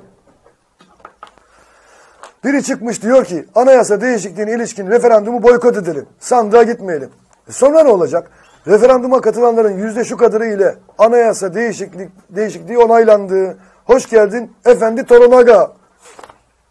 Adamlar 100 yıllık plan, prangaya son diye bağırıyor. Kimileri Cumhuriyet dönemi bitti. Osmanlı yeniden kuruluyor. İlk padişah da Tayyip Bey olacak diyor. Ya fanatikler der. Herkes her şeyi söylüyor. Onlara inanıyor. Padişahmış. Kimileri de Kimileri de daha bir coşarak halifeyi seçmek için sandık başına diyor. Kimi siyaset bezirganları için bu referandum ölüm kalım meselesi haline dönüşmüş. Başbakan yardımcısı Numan Kurtulmuş evet deyin terör bitsin diyor. Ama birkaç muhalefet milletvekili dışında kimse sen ne demek istiyorsun arkadaş? Hayır dersek terör devam mı edecek? Sen bunu nereden biliyorsun? Yoksa terörü sen mi kurguluyorsun diye sormuyor. Sen sandığa gitmeyelim diyorsun. 2010 referandumunda ne oldu? Sen ve senin gibiler protesto etti. Sanki karşısındaki de duydu. Kimi sosyalist etiketli entel takımı yetmez ama evet dedi. Sandılar ki bugünkü iktidar 12 Eylül'ün hesabını soracak. Onların 12 Eylül faili diye gördüğü iki tane kocamış işbirlikçiydi. Onlar da zaten ölüm döşeğindeydiler, öldüler. Hesap mı soruldu? Hayır. 12 Eylül'ün hesabı sorulacaksa 24 Ocak 1980 ekonomik istikrar önlemleri paketin paketini hazırlayan ve hazırlatanlara sorulmalıydı. Bu ülkeyi o tarihten itibaren küresel düzenin kucağına atan darbe hükümeti başbakan yardımcısı Turgut Özal ve onu demokrasi şehidi olarak gösteren adını köprülere verenlere sorulmalıydı. 2010 referandumu ile anayasasında hukuk devleti olduğu yazan bir ülkede bu vesileyle yargı düzenini eline geçiren AKP'ye sorulmalıydı diyor Mustafa Küpçü. Şimdi 12 Eylül 1980 ihtilalinin hesabını AK Parti'ye niye soralım bunu anlayamadım yani. Mustafa Küpçü. Herhalde kızmış yazmış. Yani 12 Eylül 1980 yılında yapılmış darbe darbenin hesabını AK Parti niye versin ki yani 20 sene sonra kurulmuş ondan AK Parti. O nasıl olmalıydı diyor. He? AK Parti'ye sorulması lazım diyor ya. Neyse. Senin bu boykot edelim tavrın demokratik bir tepki değil. İlan edilmemiş bir işbirliği olmaz mı diyor. Haliyle boykot derseniz boykot en kötüsüdür bana göre. Yani gidin evet deyin hayır deyin. Ya vatandaşsınız iradenizi kullanın. Boykot nedir yani? Seçime gitmezseniz yine yapılacak. Yeniden işte diyor ki e, Mustafa Küpçü bütün geleceğini tek adamın insafına bırakmak istemiyorsan ben de insanca bir yaşam için mücadele verdim diyebilme onurunu yaşamak istiyorsan bu anayasa referandumunda sandığa gidecek ve köle cüzdanına hayır diyeceksin diyor. Hayır diyebilirsiniz, evet diyebilirsiniz ama sandığa gidin. Bana göre en kötüsü sandığa gitmemektir yani. Boykot ediyormuş. Sanki iptal edecek seçimler. Beş kişi boykot etti diye. Mustafa Gökçe katılıyorum. Ecdadımız Osmanlı da aynı yöntemi uygulamış. Yap devlet modelinden söz ediyor Tanzer Ünal. Ee, devletin cebinden para, kasasından para çıkmadan işte Avrasya Tüneli, Yavuz Sultan Selim Köprüsü, Osman Gazi Köprüsü ve şehir hastaneleri gibi yatırımların yapıldığını, e, bunların işte belli 20 yıl, 30 yıl neyse belli bir süre e, yabancı yatırımcıların kullanıp e, devlet garantisi e, yani devlet e, kar garantisiyle kullandığını ve bu şekilde e, icraat yapıldığını anlatmış. E, Tanzer Ünal bunu eleştiriyor. Bu doğru değildir diyor. E, bütün bu yatırımların devlet garantisi altında olduğunu ifade ediyor. Aynı yöntemi daha önce de Osmanlı'nın e, son dönemlerinde kullanıldığını söylüyor. 1856'da İzmir-Aydın arasında 133 kilometre uzunluğunun demiryolu hattı yapılması için İngiliz şirketine imtiyaz veriliyor.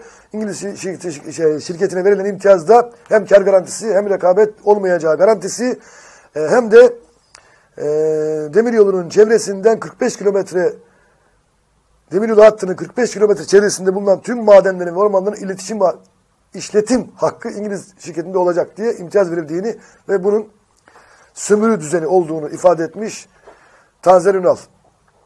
Evet. Bir işsizin feryadı. Evet demin okuduğumuz bir yine aynı evet Ko- Kocaeli Gazetesi'nden e, okuduğumuz bir haber vardı. İşçi bulamıyoruz diye hatırlıyorsanız. Aynı gazete e, hatta Tazer Ünal yazısıydı. İşçi bulamıyoruz diyordu bir tane sanayici. Burada bir işsizin feryadı. Recep Kahraman diyor ki işsizim, evliliğim tehlikeye girecek. E, doğru düzgün bir iş istiyorum, çalışmak istiyorum diye. Gazeteye aramış, söylemiş. Mail adresini de vermişler. Recep Karaman işsiz. Diyor ki Üvey, Üveys Recep et gmail.com Üveys Recep et gmail.com Bana mail atın ben iş arıyorum diyor. E madem Tanzer Hocam bunu yazmışsın e, bir önceki yazınızda, köşe yazınızda bir sanayicinin işçi bulamadı, bulamamasından yakındığı bir yazınız vardı. Bu işçiyi ona yönlendirin gitsin çalışsın. Değil mi? Tencereyi bulduk, kapağı bulduk, kapatın gitsin mi? Önemli. Olmazsa niye yapsın adam getirip senin ülkene o kadar yatırım ya?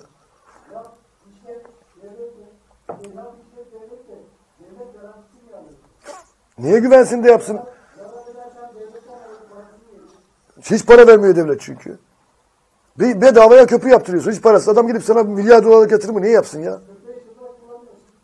Kar etmeyecekse niye yapsın yatırımı?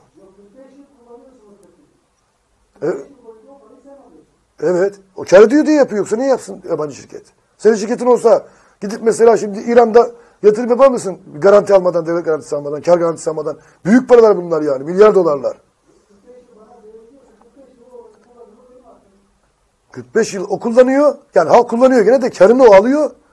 Zarar ihtimaline karşı da devlet garantisi veriliyor. Yani yüzde altıymış mesela demir yolununki. Sen yanılmıyorsam. Öyle bir şey. Devlet garantisi veriliyor. Zarar ederse üstünü devlet ödüyor. Yoksa devlet o kadar parayı bulup öyle bir büyük yatırım yapma imkanına sahip değil. Yani ben çok yanlış bulmuyorum bu yatırımları. Hiç parasız iş yapıyorsun ya 45 sene sonra sana ne oluyor? Adam alıp götürmüyor bir yere. Veya 20 sene sonra. Hepsi 45 sene değil. Etmezsen yapmıyor adam. Ha. Para benim diyor. Git kendin yap köprünü o zaman diyor. Kamil Çöpür, vicdan kaybolursa başlıklı yazısında şu işaretleri okuyayım. Gazeteci yazar Hüsnü Mahalli ta baştan beri İran ve Rusya'nın Suriye'nin parçalanmasına izin vermeyeceğini yazıp durdu.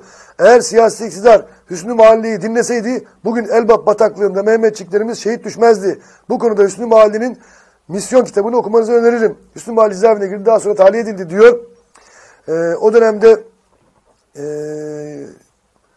yani Suriye politikamızın yanlış olduğunu şimdiki yetkililer de söylüyorlar diyor Kamil Çöpür. Ve devamında şurası benim için daha önemli. Elbap'ta son olarak 5 askerimiz şehit oldu. Şehitlerimiz memleketinde toprağa verilirken şehit yakınları veya bazı kesimler Cumhuriyet Halk Partisi Genel Başkanı'na veya milletvekillerine zaman zaman tepki gösterdi, göstermektedir diyor.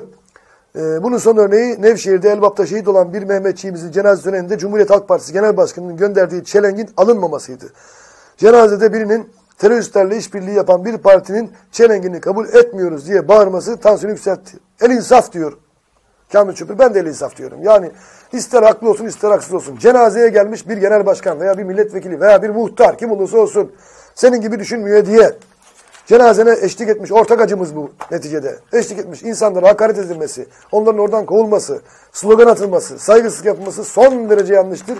Milli birliğimizi bölecek hareketlerdir. Ben şiddetle karşıyım bu işe yani. Cenazeye gelmiş genel başkan, CHP genel başkanı yolluyorsun buluyorsun. Bu ayıp bir şey ya. Bizim adetimizde öyle bir şey var mı cenazeye gelen insanı hakaret etmek, kovmak, bilmem ne yapmak, saygısızlık yapmak? Var mı? Yok. Sahiplenmiş gelmiş ne istiyorsun? O zaman bölüşüyoruz işte ayrılıyoruz. O da sahiplenmezse ne olacak? Sen sahiplenme bizim cenazemizi. Sen bizden değilsin anlamına gelir. Bu tavır çok yanlıştır. Evet devam edeyim arkadaşlar. Şu partileri sayayım. 94 partiden 9 partiye ve Hüdapar'dan özür. Ee, 94 parti var diye geçen programda okumuştuk. Tanzan Ünal yazmıştı onları. Onların için Hüdapar yazmayı unutmuş. Ondan da Hüdapar'dan özür diliyor. Ve e, tabela partileri dışında yasal, yasal, yasal gerekli yerine getirip seçimlere katılma hakkı elde eden partileri sıralamış. AK Parti, CHP, HDP, MHP, Saadet Partisi, Vatan Partisi, Hüdapar, Büyük Birlik Partisi ve Bağımsız Türkiye Partisi seçimlere girebiliyor arkadaşlar. Şu an.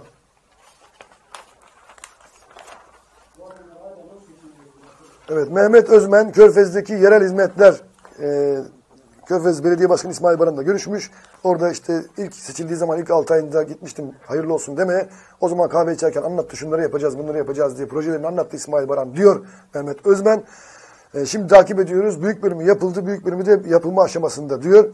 Ve bakmayın siz öyle arsa satışları ve benzeri konularda atıp tutanlara o arkadaşlar Erhan Yenilmez bu arsaları belediye, belediyeye kazandırdığında Yenilmez'i yerden yere buluyordu. Şimdi Körfez Belediyesi'nin arsa satışları ile ilgili muhalefetten ciddi tepkiler var. Arsaları belediyenin e, arsalarını satıyorsunuz diye.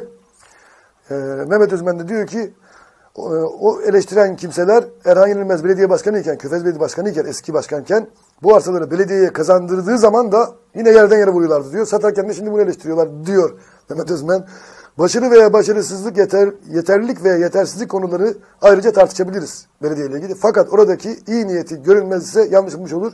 Körfez Belediyesi'nde ben çalıştım. Başkanın iyi niyetli olduğundan zerre kadar şüphem yok. Şu anda görüşmem, sevmem ayrı bir şey. Ama iyi niyetinden hiç şüphem yoktur yani. Hatta iyi niyeti yüzünden eleştiriyorum. Fazla iyi niyeti. İsmail Baran'ın fazla iyi niyetli olduğu için eleştiriyorum yani. Fazla. Evet. Körfez Belediyesi biliyorsun Mehmet Özmen'in. Yani Körfez Belediye Başkanı'nın iyi niyetli olmadığını herhalde kimse söyleyemez. Ben yani görüşmediğim, konuşmadığıma küstük yani. Şey boz boz yaptık. Ona rağmen iyi niyetlidir diyorum. Biliyorum çünkü tanıyorum yani. Kötülük düşünmez. Mavi Kocaeli Gazetesi 30 Ocak Pazartesi Türkiye'de Kocaeli'de Türkiye'nin de Kocaeli'nin de gündeminde artık Nisan ayında yapılacak referandum var. CHP evet demelidir demiş. Kim diyor? Sağlık Bakanı Recep Akdağ ana muhalefet partisine yüklendi. CHP Genel Başkanı ve yönetimi milletin hayrına olan her neyse ona evet demelidir diyor. Evet 18 kentin baro başkanı ile ortak açıklama yapan Kocaeli Barosu Başkanı Sertif Gökçe Türkiye'yi e, tek bir kişinin iradesinde ve insafına bırakamayız diyor. O da hayır deyin diyor. Biz ne diyeceğimizi biliriz. Bizimkiler de öyle diyor. Evet, ülkücüler daha sakin olmalı diyor Yüksel Ercan. AK Parti iktidara geldiği günden beri başkanlık sistemini istiyor ve bu sistemin hayata geçmesi adına gerekli bütün siyasi çalışmaları yapmaktan asla geri kalmıyor. Başkanlık sistemiyle ilgili CHP'nin de uzun yıllardır tavrı son derece net diyor Yüksel Ercan.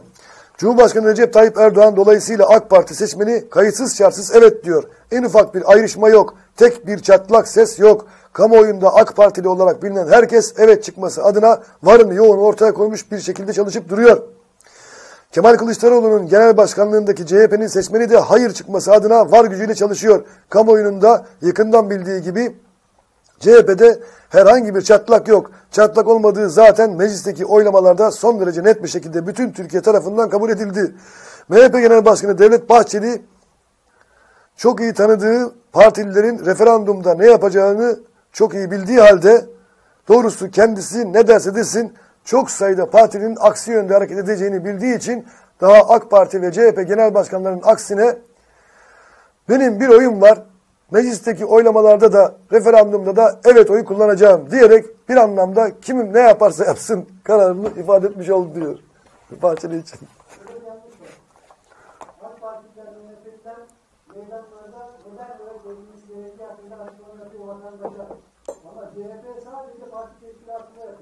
Bunu tek ben şey yayına göndereyim söyleyeyim senin söylediğin. Ana kumanda diyor ki AK Partili ve MHP vatandaşa neden evet demesi gerektiğini anlatıyor diyor.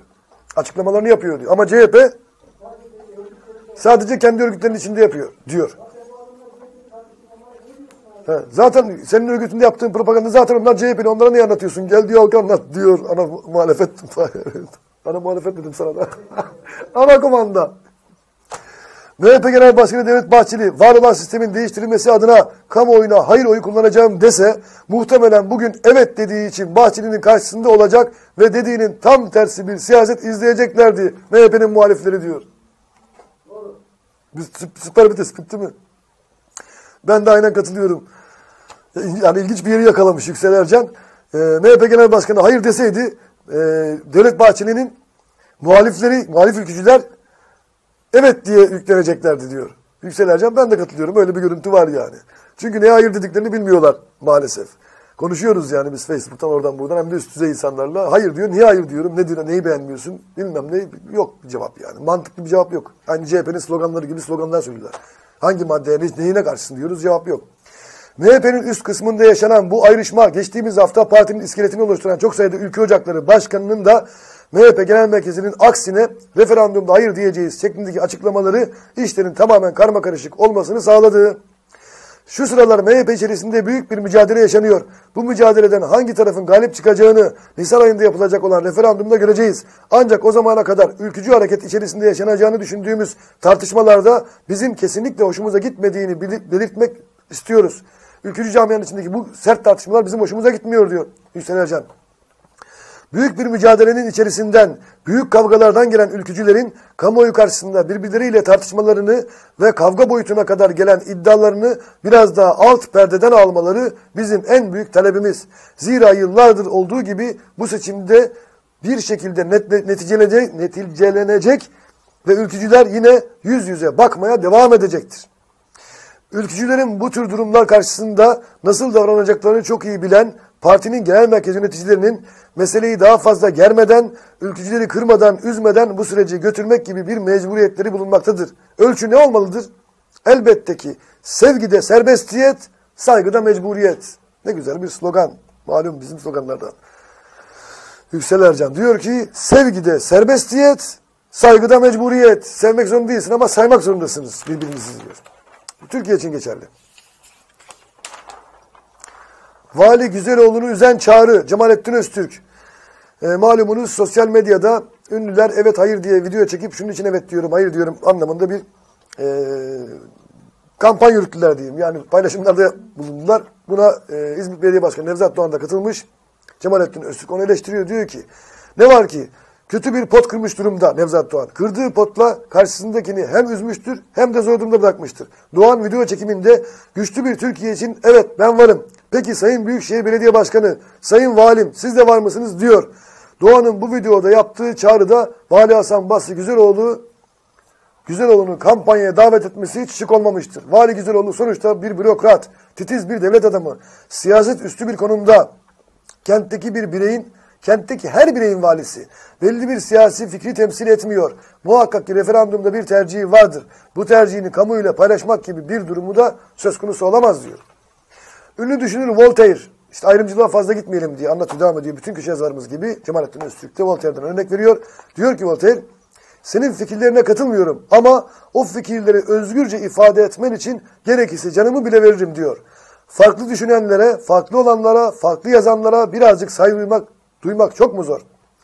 Ben evet diyorsam biri bir diğeri çıkıp hayır diyebilir. Burada önemli olan birbirimizin tercihlerine saygı duymaktır. Birbirimize saygı duyduğumuz sürece güçlü oluruz diyor Cemalettin Öztürk. Affedersiniz. Evet Cemalettin Öztürk. Evet. Kadınlık görevi derken Kilimci'nin yazısı ama güncelliğini kaybetmiş bir yazı arkadaşlar. Meclisteki kadın e, tartışmalarından gündemle onu analiz etmiş yazısında. Pazartesi buluşmaları Sebahattin Aydın. Akaryakıta, yedek parçalar ve vergilere gelen zamlar şehir içi otobüs ve minibüsleri zor durumda bıraktı. Geçtiğimiz hafta zam konusu UKOME toplantısında gündeme alınmadı. Kocaeli Otobüsler ve Minibüsler Odası Başkanı Mustafa Kurt, Mart ayındaki UKOME toplantısında zam konusunu görüşeceklerini söyledi. Evet mazot, akaryakıt fiyatları arttı vesaire. Tam sayfa güzel bir röportajdı. Biraz da gazeteleri satın alıp okuyun. Hepsini ben okumayayım değil mi? Benim yüzümden gazeteler satılmıyor. Ne var?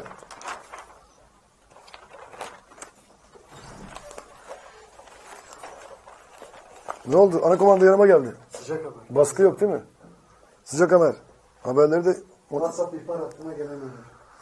D100 Karayolu İstanbul istikameti Köşkü Çeşme Mahallesi mevkisinde 10 aracın karıştığı zincirleme kaza meydana geldi. İhbar üzerine olay yerine çok sayıda sa- polis, itfaiye ve sağlık ekibi sevk edildi. Kazada 41 UE 533 plakalı otomobilde bulunan Fatih Can olay yerinde yaşamını yitirdi. Yaralanan 14 kişi ambulanslarla hastanelere kaldırıldı. Bu arada kaza nedeniyle İstanbul istikametinin ulaşıma kapandığı yolda uzun araç kuyruğu oluştu. Allah, o çok fena bir kazaymış bu be. Resimlerini de, fotoğraflarını da gördüm buradan. Ölene Allah'tan rahmet, yaralılara acil şifa. Efendim? Erhan Akbulut son dakika. Erhan Akbulut kimdir? Gebze muhabiri. Gebze muhabirimiz Erhan Akbulut'un TV 262 Gebze muhabiri mi? Evet. Gazete 262 Gebze muhabiri Erhan Akbulut'un son dakika haberiymiş. Bir de iyi haber versin Erhan Akbulut'a söyle de. Çağdaş Kocaeli Gazetesi 30 Ocak Pazartesi gizli yolcu dönemi Büyükşehir Belediyesi ulaşımda vatandaşın rahat seyahat etmeleri için farklı uygulamalar gerçekleştiriyor. Çok güzel bir uygulama arkadaşlar bu. Yolculardan gelen şoför şikayetlerini araştırmak için Ulaşım Park AŞ otobüslerinde gizli yolcu uygulamasını yürütüyor. Birisi denetliyor, yolcu gibi oturuyor. Şoför nasıl davranıyor, vatandaşa nasıl davranıyor onu işte e, kural ihlali yapıyor mu diye. Da okuyalım arkadaşlar. Hayatı iğnelere bağlı. Bir tek bu gazetede gördüm ben bunu. Diğerlerinde vardı kaçırsam bilmiyorum ama bir tek Çağdaş Güzel yazmış. Hem de birinci sayfadan önemli. Mevsimlik işçi olarak ilimize gelen Kastamonulu genç Yusuf Karakuş'un mücadele ettiği beyin tümörü hastalığı tedavisi için iğne masraflarının karşılanması gerekiyor. Tedavisini karşılayamaz duruma gelen Karakuş'un tedavisi için yurt dışından ithal tanesi 700 lira olan iğnelerin kullanılması gerekiyor. Yaş, 20 yaşında genç.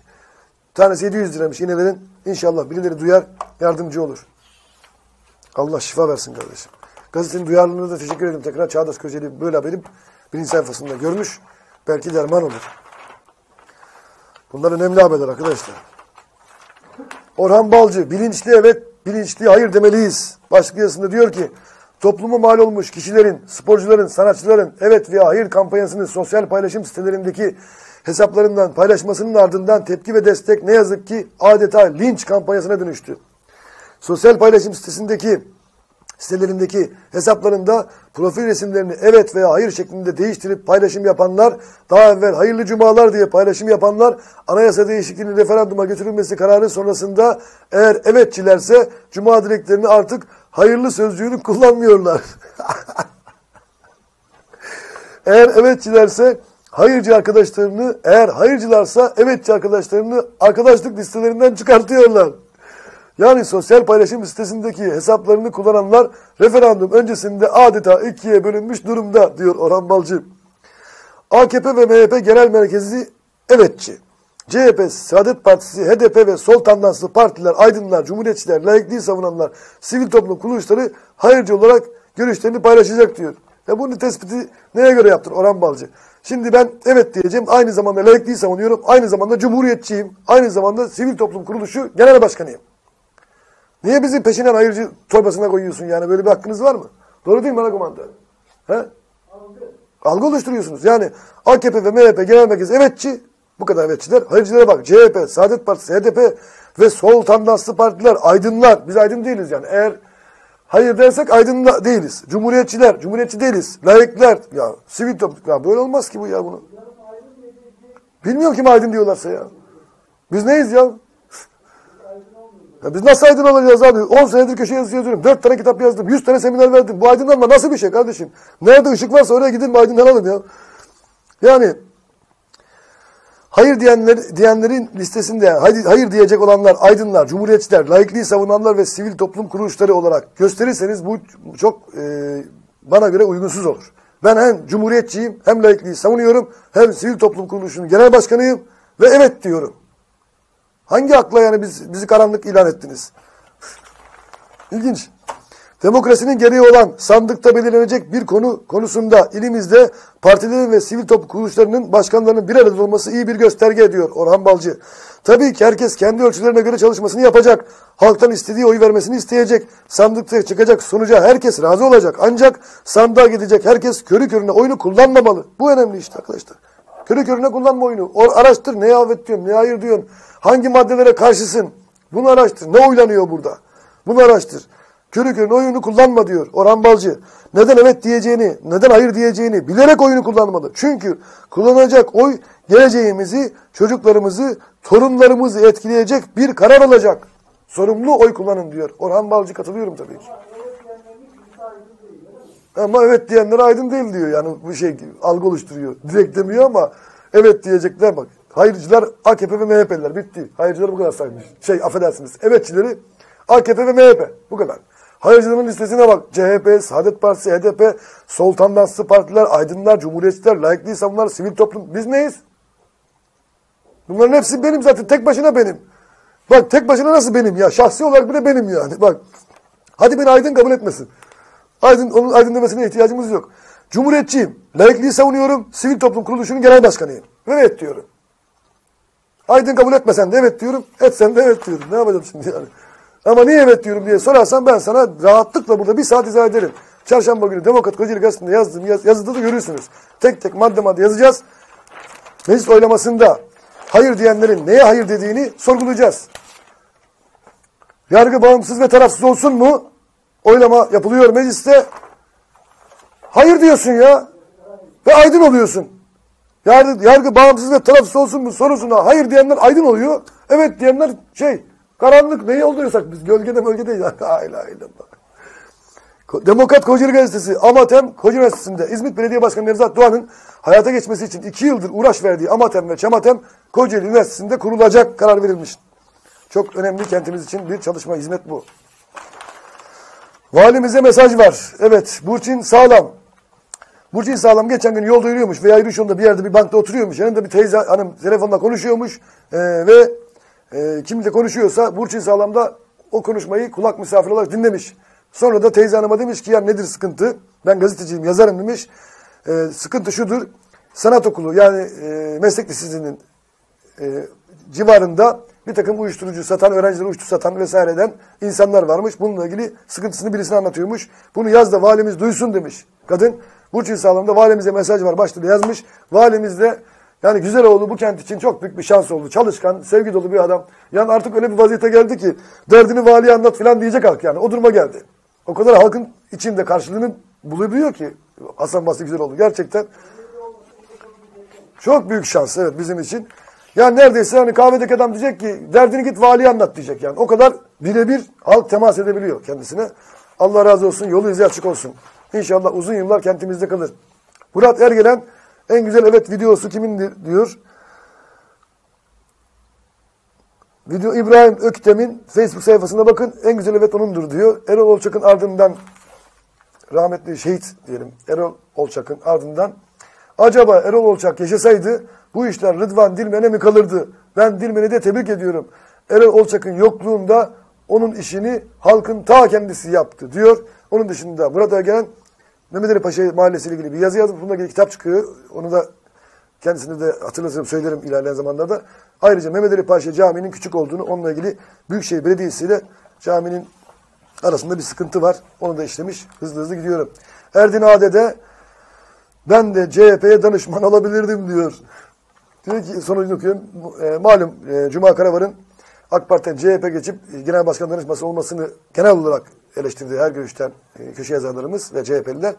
Erdin Adi diyor ki bugün CHP üye olayım. Bir bakmışsınız yarın da genel başkan yanındayım. Olur mu? Olur diyor.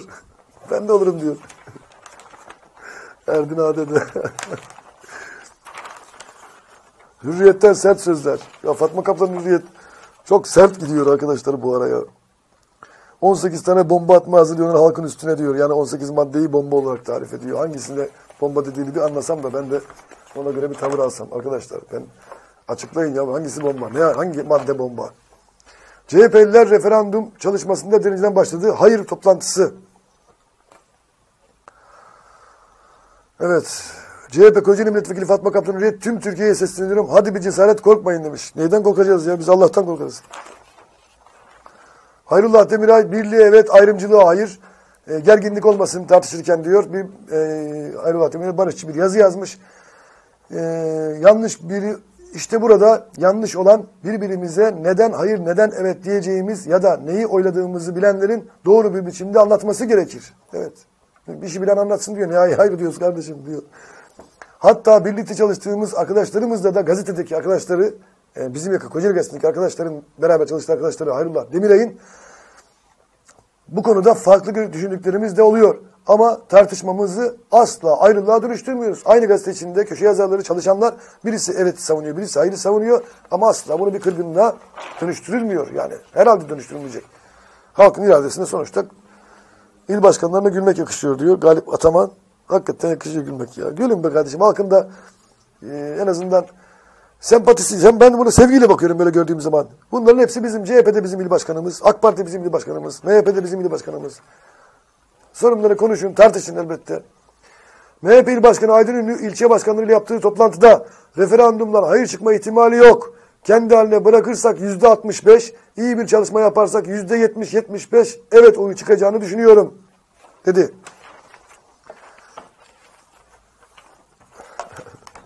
Kocaeli, Büyük Kocaeli Gazetesi 30 Ocak Pazartesi. Umut Tepe'de yapılacak bağımlı tedavi merkezleri. Ne hızlı gidiyorum. Şimdi internetten de uzun uzun bir iki yazı var. Onları da okumam gerekiyor. Ve ayrıca burada Büyük Kocaeli Gazetesi'nden İbrahim Gürsel. Parti değiştirmek yeni sistemde kolay olmaz. Başlıklı yazısının tamamını okumak zorundayım. Haksızlık etmek istemem. Parti değiştirmek, bir uçtan diğerine ışık hızıyla geçiş yapmak yalnızca Cuma Karavar'a özgü bir durum değildi. Daha önce de çok aykırı, sıra dışı değişimlere şahit olmuştuk. Ama son örnek Cuma Karavar olduğu için onun adını geçiriyorum. Cuma Karavar yıllarca AK Parti'de siyaset yapıp milletvekili aday adayı olduktan sonra CHP Genel Başkanı Kemal Kılıçdaroğlu'nun danışmanlığına getirildi. Danışmanlık aktif siyaset anlamına gelmiyor elbette ama mevcut sistemde parti liderlerinin istediği olduğuna göre bakarsınız bir gün önümüze milletvekili adayı veya belediye başkanı adayı olarak çıkabilir. Kaldı ki bu kadar kesin bir dönüşe karşılık e, Karavar'ın da mutlaka bir beklentisi olacaktır. Maalesef bizim mevcut sistemde bu dönüşler çok fazla yaşanıyor. Bizim kullandığımız sistem, sistem demokrasinin gerçek ifadesinde olduğu gibi halka değil, lidere dayalı işliyor. Tam bu noktada anayasa değişiklik teklifinin getireceğine inandığım bazı değişimlerinden söz etmek istiyorum. Demokrasinin tanımında altı çizdiği, altı çizildiği gibi eşitlik ve halk var. Halk. Kendini halka kanıtlamamış, halkın rızasını kazanmamış birinin temsilci olarak seçilmesi demokrasinin ruhuna aykırı. Ama bugün kullanılan sistemde tam anlamıyla demokrasiyi yaşıyoruz. Halkın tam da istediği gibi oluyor diyemiyoruz. Bunun en büyük nedeni mevcut sistemde parti liderlerinin belirleyici olmasıdır. Parti liderleri ne diyorsa halk da onu seçiyor. Bugünden örnek verirsek AK Parti'de bazı durumlarda parti merkezinin belirlediği adaylar halkta karşılık bulamayabiliyor. Tercihler tabanın beklentilerini karşılamıyor. Ama yeterli görmese de parti liderini koruma amacıyla önüne gelen adayı desteklemeye kendini mecbur hissediyor insanlar. CHP'de de durum aynı. Demokrasinin gerçek anlamda işlemesi için bu sistemin değişmesi yüzünü parti liderine değil halka dönük temsilcilerin belirlenmesi gerekir. Bunun için anayasa değişikliği teklifinin ilk adım olacağını düşünüyorum. Cumhurbaşkanlığı sistemi anlatılırken mevcut belediye başkanlığı seçimleri örnek veriliyor. Belediye başkanı ve meclis üyeleri gibi Cumhurbaşkanı ile milletvekilleri de aynı ayrı ayrı seçilecek. Belediye meclis seçimleri gibi yani. Belediye başkanı ayrı oy veriyoruz, meclise ayrı oy veriyoruz ya. O şekilde olacak diyor genel seçimlerde. Cumhurbaşkanının seçilmesi için meclisi, mecliste çoğunluğun sağlanması gerekmeyecek. Bu durumda halk sadece parti liderine olan sevgisi yüzünden istemediği temsilciye oy vermek zorunda kalmayacağı gibi parti liderine tepkisi yüzünden meclise girmeyi hak eden bir adayın önü kapanmamış olacak. Mutlaka bu değişimin tek başına bütün sorunları çözeceğini iddia etmiyorum. Ama vazgeçemediğimiz demokrasiyi gerçek anlamda yaşamaya başlamak için bir adım atmak gerekiyor. Liderlerin temsilcisi temsilci seçimlerindeki belirleyici rolünün azaltacağı gibi sırtını lidere dayamış halktan kopuk adayların da sonu gelmesi gerekiyor. Aynı zamanda liderler partisini güçlendirmek adına bu tür tuhaf transferlere de gerek duymayacak. Güç merkezlerine göre partisini ve yönünü değiştiren siyasetçiler yerine halka karşı kendini sorumlu hissedip çalışacak siyasetçi tipinin çoğalması için de bu adımın gerekli olduğunu düşünüyorum. Cuma Karavar'la hiç tanışmadık. Ama yıllarca muhalif olduğu bir görüşe bu kadar rahat geçiş yapması, üstelik parti merkezinde iyi bir noktaya gelmesi dışarıdan bakıldığında doğal gözükmüyor. CHP yıllarca gönül vermiş, örgüt içinde didinip çalışmış insanlara haksızlık olduğu kadar ona yıllarca kucak açmış AK Parti teşkilatı da eminim büyük bir ihanet yaşadığı görüşündedir. Anayasa değişiklik teklifiyle liderlerin bu tür yanlış hamlelerinin önü kesilecektir. Gereksiz transferlere ihtiyaç duymayacaktır. Aynı şekilde halkı temsil iddiası taşıyıp ortada bu şekilde dönüp duran siyasetçilerin sayısı da giderek azalacaktır diyor İbrahim Gürsel. Harika bir tespit arkadaşlar. Harika bir yazı. Gülsüm Güney Söz Milletin yazısının arkadaşlar sonunu okuyabileceğim zaman itibariyle. Önümüzde referanduma giden süreçte öncelikle muhalefet oylama sürecinde yaptığı tasarıyı geri çekin tarzında karşılık bulmayacak, siyasetten uzak, isteklerinden uzaklaşmalı.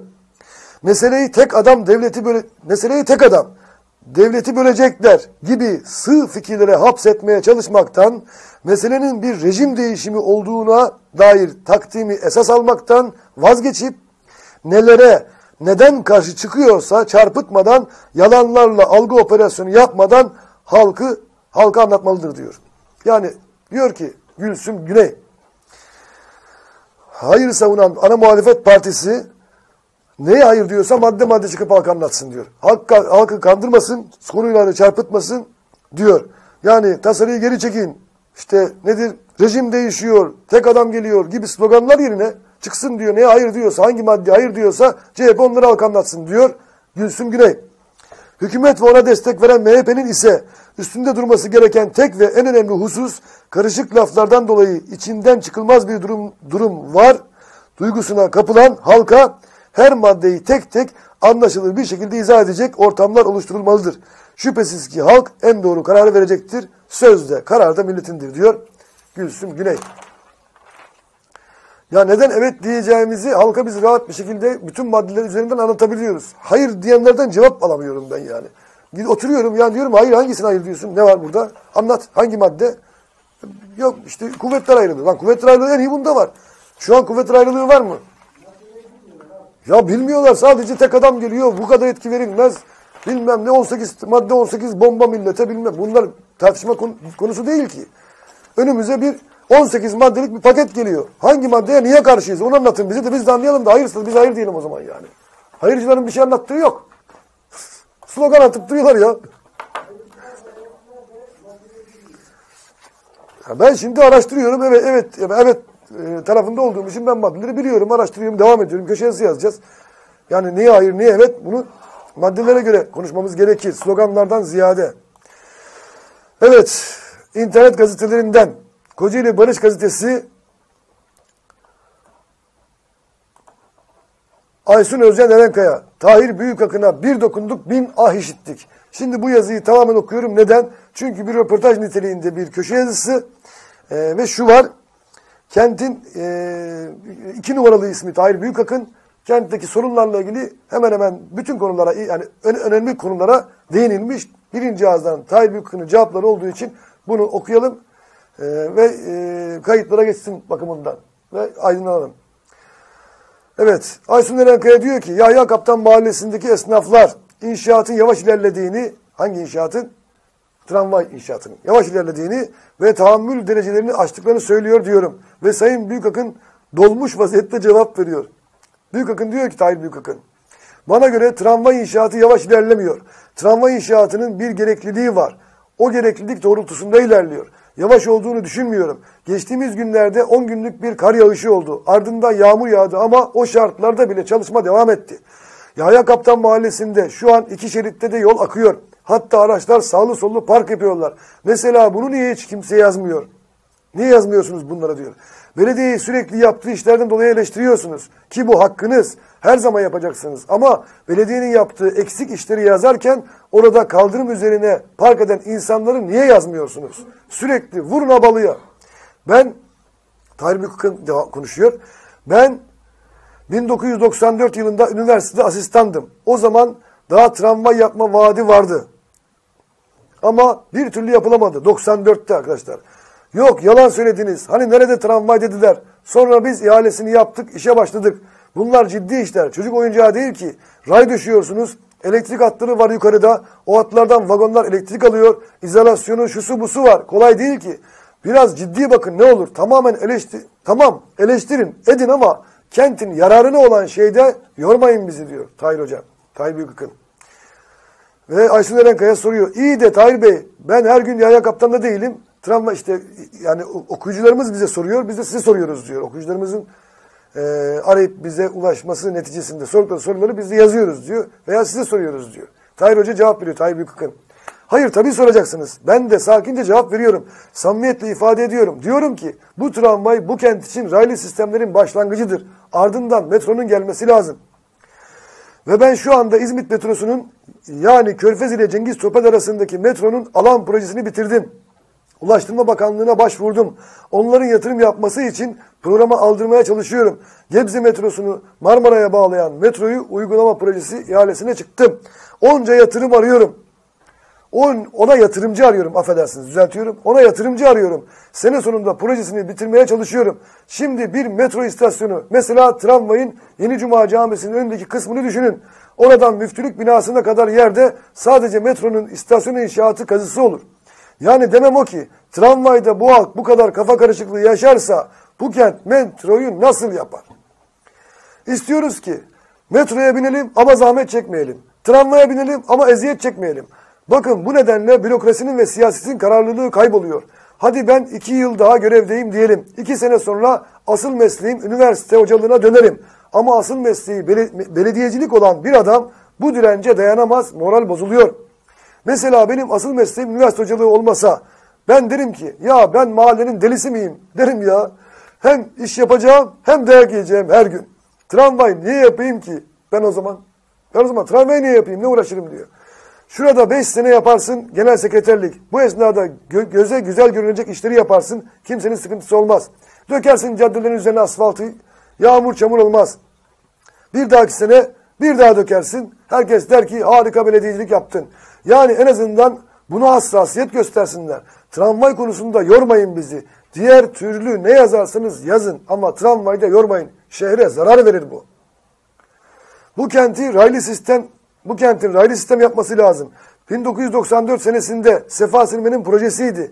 İnsaf ya. Bu tramvay bitecek ve diyecekler ki bu tramvayı inat uğruna yaptılar. Şimdi trafik daha çok sıkışıyor diyecekler. Bu bitmeyecek yani. Metro yapacağız. Onda da aynısı olacak. Ama basın burada dördüncü, dördüncü kuvvetse ben tramvayda yanlış yapıyorsam deyin ki şu hat şurada gitmesi gerekirken buradan götürdün hata ediyorsun deyin. İnşaatı hatalı yapıyorsam bunu sorgulayın. Ama neden yavaş ilerliyor demeyin. Bu kent bazı şeyleri normal konuşamayacak mı? Mesela bunu denizin kirlenmesinde yani algı, alg patlamasında da söylemiştim. Sanki orada denizin kirli olduğunun tescillenmesi bu kente yarar sağlayacakmış gibi.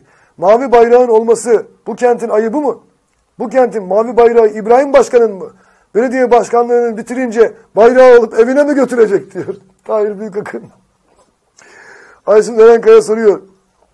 Değil tabii ama mavi bayrağı bütün koşullarıyla hak etmesi gerekiyor. Sadece mavi bayrak aldık demekle olmuyor. O bayrağı aldıktan sonra da bunun gerektiği yok mu diyor. Soruyor Tahir Büyükakın'a. Tahir Büyükakın devam ediyor. Haklısınız ama ha, e, haklısınız ama hak ediyor Aysun Hanım. Mavi bayrak nasıl alınıyor? Bunun kriterleri var. Ben mavi bayrak istediğimde gidip kimse bana vermiyor ki. 18 tane kriter var. Niye samimiyetimize inanılmıyor? Yani bu kente bir şey yapıldığı zaman mesela Sefa Bey İzerdeş'i yaptı. Kötü mü yaptı adam? Ama ilk yaptığında dünya ayağa kalmıştı, kalkmıştı. Şimdi bir tane daha çöp fabrikasını yapmak istiyoruz. Çünkü lazım bu kente.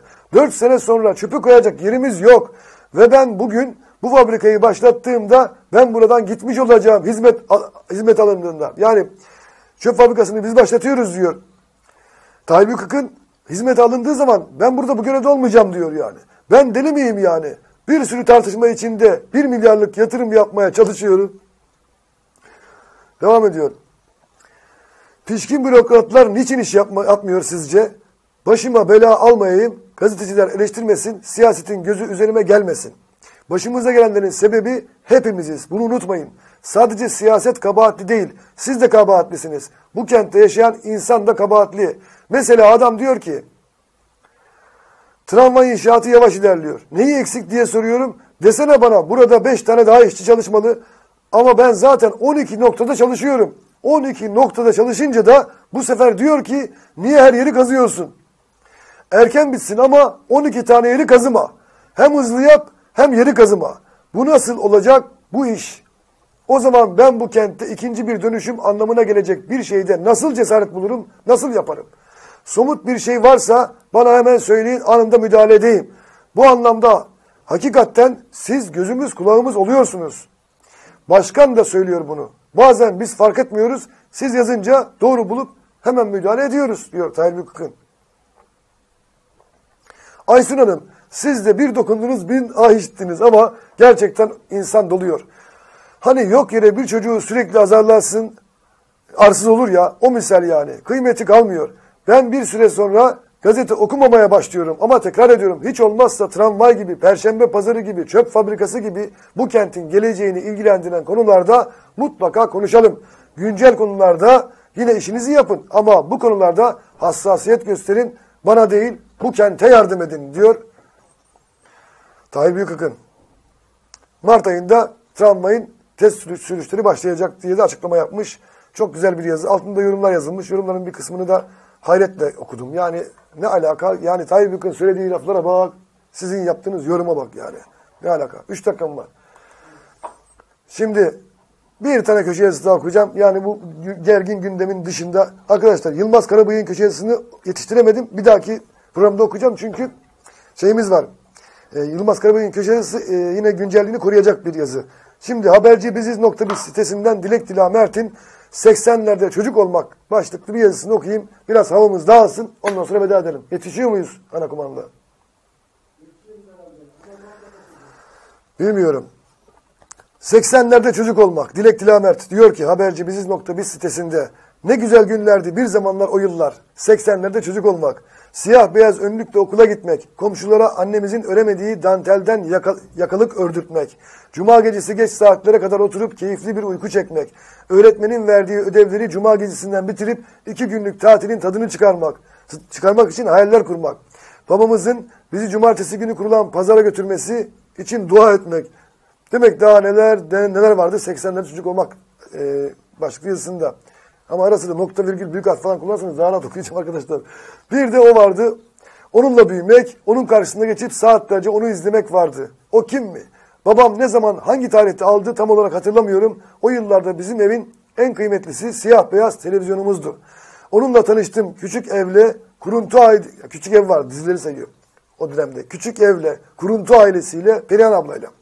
Koşa koşa okuldan eve gelir, dersimizi bitirir, geçerdik televizyonun karşısına. Reşat Nuri Güntekin'in o meşhur Çalı Kuşu dizisini izlemek, Peyami Safa'nın 9. Hariciye Koğuşu'nu sabırsızlıkla beklemek. Evde yanan odun, soba, evde yanan odun sobasının karşısında ders çalışmak. Annemizin o meşhur yemek arkası çayını beklemek, pencereden lapa lapa yağan karı seyretmek. Çocuk aklımızla Kenan Paşa'nın açıklamalarını dinlemek ve ne olduğunu anlamaya çalışmak.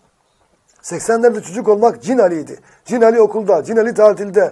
Hemen hemen her çocuğun olmazsa olmazıydı. İlkokul birinci sınıfta bir Cin Ali serisine sahip olmak. Yıllar geçti biz büyüdük. Önce ilkokula başlarken alfabeyi öğrenmek için evden evden getirdiğimiz fasulyelerimizi unuttuk. Sonra okul fişlerimizi Ali Atabak, Ayşe Toputut. Bütün bunları yazma nedenime gelince bir iş için İzmit içinde yolculuk yapmam gerekiyordu. Her zaman bindiğim duraktan yine aynı şekilde halk otobüsüne bindim. Otobüs tenaydı. Arkadan bir çocuğun ba bana ne bana ne ben de istiyorum sözü otobüsü neredeyse ayağa kaldıracaktı. İster istemez konuşmayanlara kulak misafiri oldum. Ben diyeyim 9 siz deyin 10 yaşında olsun. Annesinden cep telefonu istiyor. Bir arkadaşını da görmüş. İstediği marka yanlış an, anlamadıysam epey de pahalı bir marka cep telefonu. Düşündüm düşündüm. Bey çocuk dedim içimden. Biz sizin yaşlı, yaşlarınızda değil cep telefonu almak, okul çantasını zor bulurduk. Çoğumuzda o da olmaz kitaplarımızı yağmurda karda ıslanmasınlar diye naylon poşetlerin içerisine koyardık. Yağmur yağar şemsiyemiz olmaz poşetleri başımızın üzerine koyar koşar adımlarla evin yolunu tutardık. Çünkü üşütürdük, çünkü hasta olurduk. Çünkü babamız işçiydi. Çünkü hastalanmak demek para demekti, doktor demekti. Bir simidi üçe böler, üç kardeş paylaşırdık. 80'lerde çocuktuk, 80'lerde büyümüştük. Çağa ayak uydurma teknolojisinin tüm e, çağa ayak uydurmak, teknolojinin tüm nimetlerinden faydalanmak elbette gerekir. Ancak teknolojiye doğru teknolojiyi doğru şekilde kullanmak hem bilgi daracığımızı geliştirir hem de ufkumuzu açar. Amenna. Bilgi dar ağacımız değil arkadaşlar. Dar ağacı biliyorsunuz idam edilen ağacın adı. Bilgi dağarcığımızı olacak. 2017 Türkiye'sinde durum içler acısı. İnsanın içinden gelmiyor televizyonun karşısında geçmek. Öğlen kuşağı tam bir rezalet. Allah'tan sabah kuşağı biraz daha sessiz. Derin bir Müge Anlı ablamız var ki dedektiflere taş çıkartıyor derken öğlen kuşağı başlıyor. Ne tuhaf ki bizim hakkımızda hem eleştiriyor hem de izliyor. Bizim milletimiz hem eleştiriyor bu tür programları hem de izliyor diyor. Kimleri mi izliyor? Nurullahları, Solmazları, Güzelleri. Bunlar da kim mi? Bunlar onlar. Rating uğruna kendini kurban eden kurbanlar. Şimdilerde ortada bir evlilik programları zinciri var ki adı evlilik, soyadı kepazelik. Ortada kurulu bir senaryo para... Bitti mi?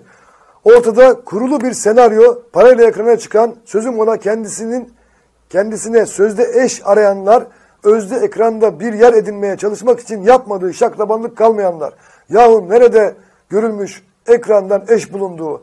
Hangi akıllı erkek milyonların önünde her gün çıkıp dansöz gibi kıvıran kadını kendine eş, evine hanım yapar? Solmazla yatar, Nurullah'la kalkar olduk. 80'ler diyorum 80'ler pazar sinemaları, çizgi filmler, sıcak sohbetler. Biliyorum gelmez o günler, gelmez o yıllar.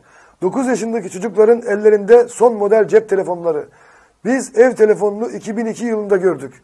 Birine söylesen, birine anlatsan cevabı hazır. Dila sene 2017. Dila sene 2017. Senin 80'lerin mi kaldı? Öyle ya sene 2017. Ne 80'ler kaldı ne de hayaller diyor Dilek Dila Mert. Yayınımızın sonuna geldik herhalde.